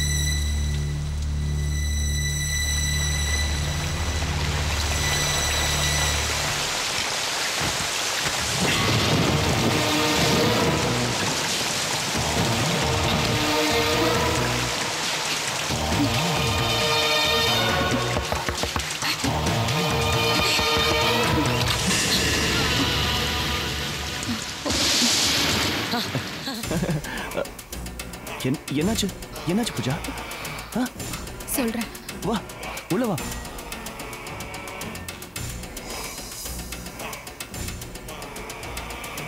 நான் ப்ரோக்ராம் முடிச்சிட்டு வீட்டுக்கு வர வழியில நாலு பேர் என்ன சுத்தி வளைச்சிட்டாங்க. சுத்தி வளைச்சிட்டாங்களா? எங்க? சவுத் ஓவர் பிரிட்ஜ் பக்கத்துல என்ன பிடிச்சிட்டாங்க. நான் உனக்கு கால் பண்ணேன். ஆனா நீ தான் ஃபோன் அட்டன் பண்ணவே இல்லை. பயங்கரமா மழை பெஞ்சதுல அதான் எனக்கு எதுவும் கேட்கல ஆமா என்னாச்சு? அவங்க என்ன பண்ணாங்க? அவங்க என்ன பண்ணாங்கங்கிறது தான் உனக்கு ஃபோன் பண்ணி சொல்லிட்டாங்களே. ஆமா மேனன் சாருடைய பொண்ணு ரொம்ப அழகா இருப்பாளாமே. எதுவா இருந்தாலும் அவ என்ன மாதிரி ஊர்ல எல்லார் கூடயும் படுக்கிற ஒரு பொண்ணு கிடையாதுல்ல? என்ன பேசுற? நான் உன்னை அந்த மாதிரி தனியா விட்டுடுவேனா? என்னை பத்தி நீ இவ்வளவு கேவலமாவா நினைச்சிருக்க? நம்ம ரெண்டு பேரும் ஒன்னா வாழணும் தானே நினைச்சோம். நீ இல்லாத ஒரு வாழ்க்கையை என்னால நட-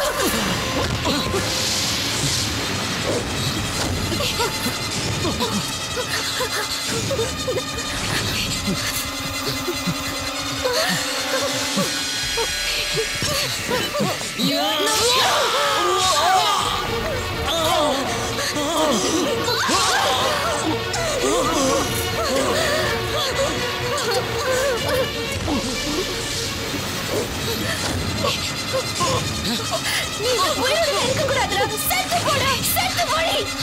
நீ எல்லாம் உயிரோடவே இருக்கக்கூடாது. நீ சாகணும். அப்படிதான் நான் அவனை கண்ட துண்டமா வெட்டி கொன்னேன். அவள உயிரோடவே இருக்கக்கூடாது. நான் ஜேகேவை உயிருக்கு உயிரா விரும்பினேன். கொன்னதுக்கு அப்புறம் நான் ரொம்பவே பயந்துட்டேன் தப்பிக்கணும்னு மட்டும்தான் யோசிச்சேன் பார்ட்டு பார்ட்டை வெட்டிட்டோன்னா அதுக்கப்புறம் என்னால தப்பிச்சிட முடியும்னு நான் நினைச்சேன்.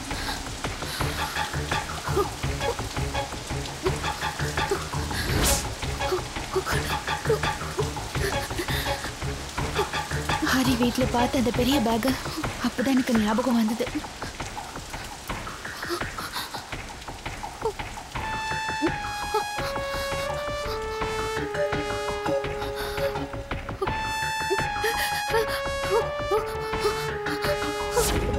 நீ சொல்றதை என்னால முழுசா நம்ப முடியல. ஏன்னா ஹரி இந்த கொலை வழக்குல சம்பந்தப்பட்டதற்காக என்கிட்ட முக்கியமான ஆதாரம் இருக்கு. என்ன ஆதாரம்? ஜிகேவோட கொலை நடந்த அந்த இடத்துல ஹரியோட தடங்கள்லாம் கிடைச்சிருக்கு. அன்னைக்கு ராத்திரி ஹரி அந்த இடத்துக்கு வந்ததுக்கான ஆதாரம் என்கிட்ட இருக்கு. அது ஏன் உனக்கு தெரியுமா?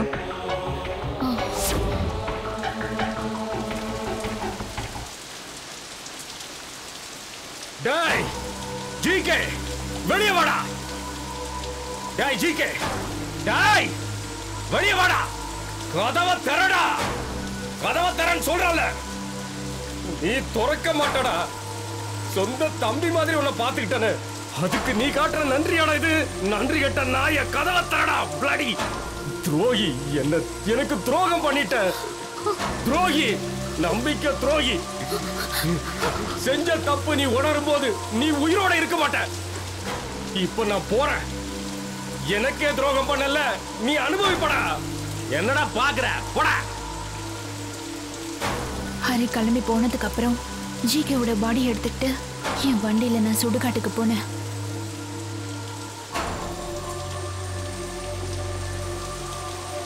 அந்த மழையில ஒரு பேக் கீழே விழுந்ததை நான் கவனிக்காம விட்டுட்டேன்.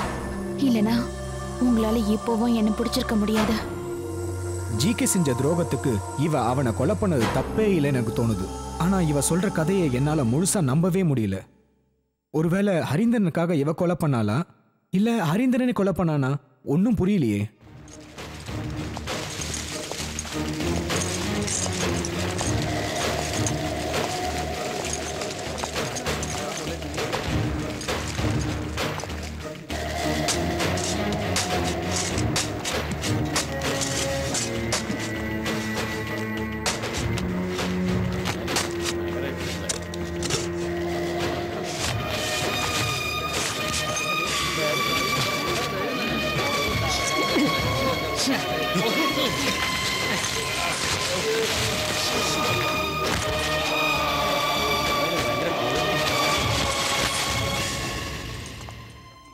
பத்திரிகைகளுக்கும் பொதுமக்களுக்கும் என்னோட கேஸ் ஒரு வேடிக்கையாக போச்சு.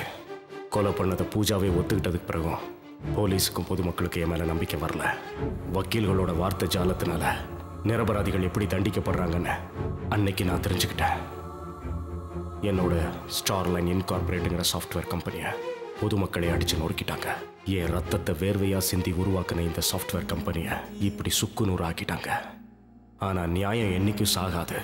என்னதான் போலீஸ் என் மேல குற்றத்தை ஜோடிச்சாலும் நீதிமன்றம் என்னை விடுதலை செஞ்சிருச்சு. ஆனா கொடூரமா கொலை செய்யற அளவுக்கு பூஜாங்கிற பொண்ணு மனச நான் தான் கலைச்சு வச்சிருக்கேன்னு என் மேல அபாண்டமா பழி சுமத்துறாங்க.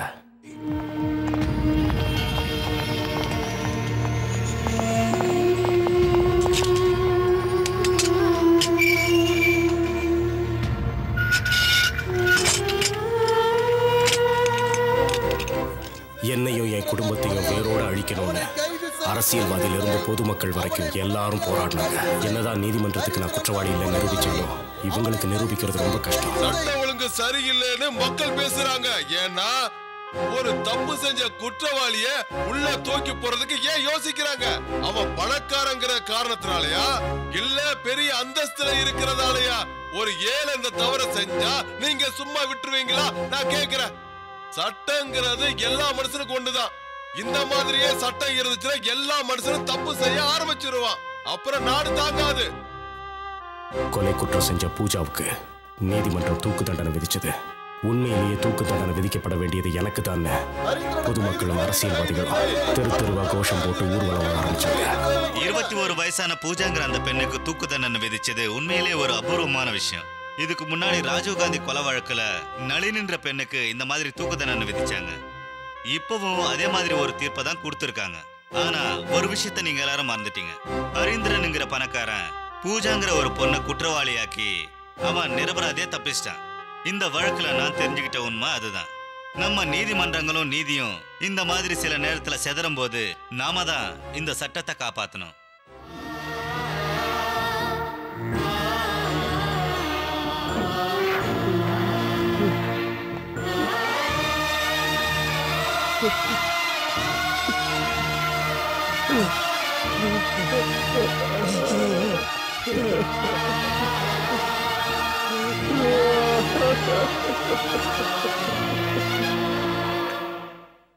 இந்தாங்க டீ.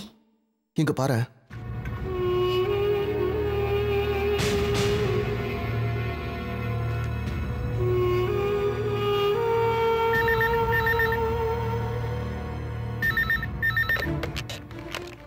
ஹலோ இப்போ உனக்கு சந்தோஷமா? அந்த பொண்ணை யூஸ் பண்ணி எல்லாத்தையும் நீ தான் பண்ணுன்னு எல்லாருக்கும் தெரியும். அவளுக்கு தூக்கு தண்டனை வாங்கி கொடுத்துட்டு நீ நிம்மதியா தூங்கிட்டு இருக்கியா? இதுக்கான தண்டனை உனக்கு கண்டிப்பா கிடைக்கும். புரிஞ்சுதா?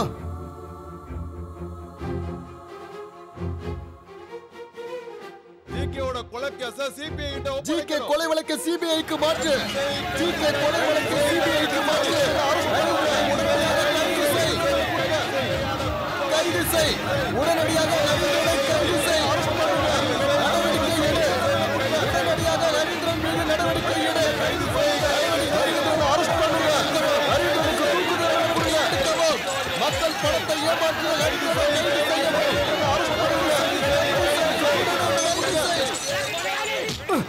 ஐயோ ஹரி எல்லாம் காட்டு வராண்டியா இருக்காங்க? நீ உள்ள வா.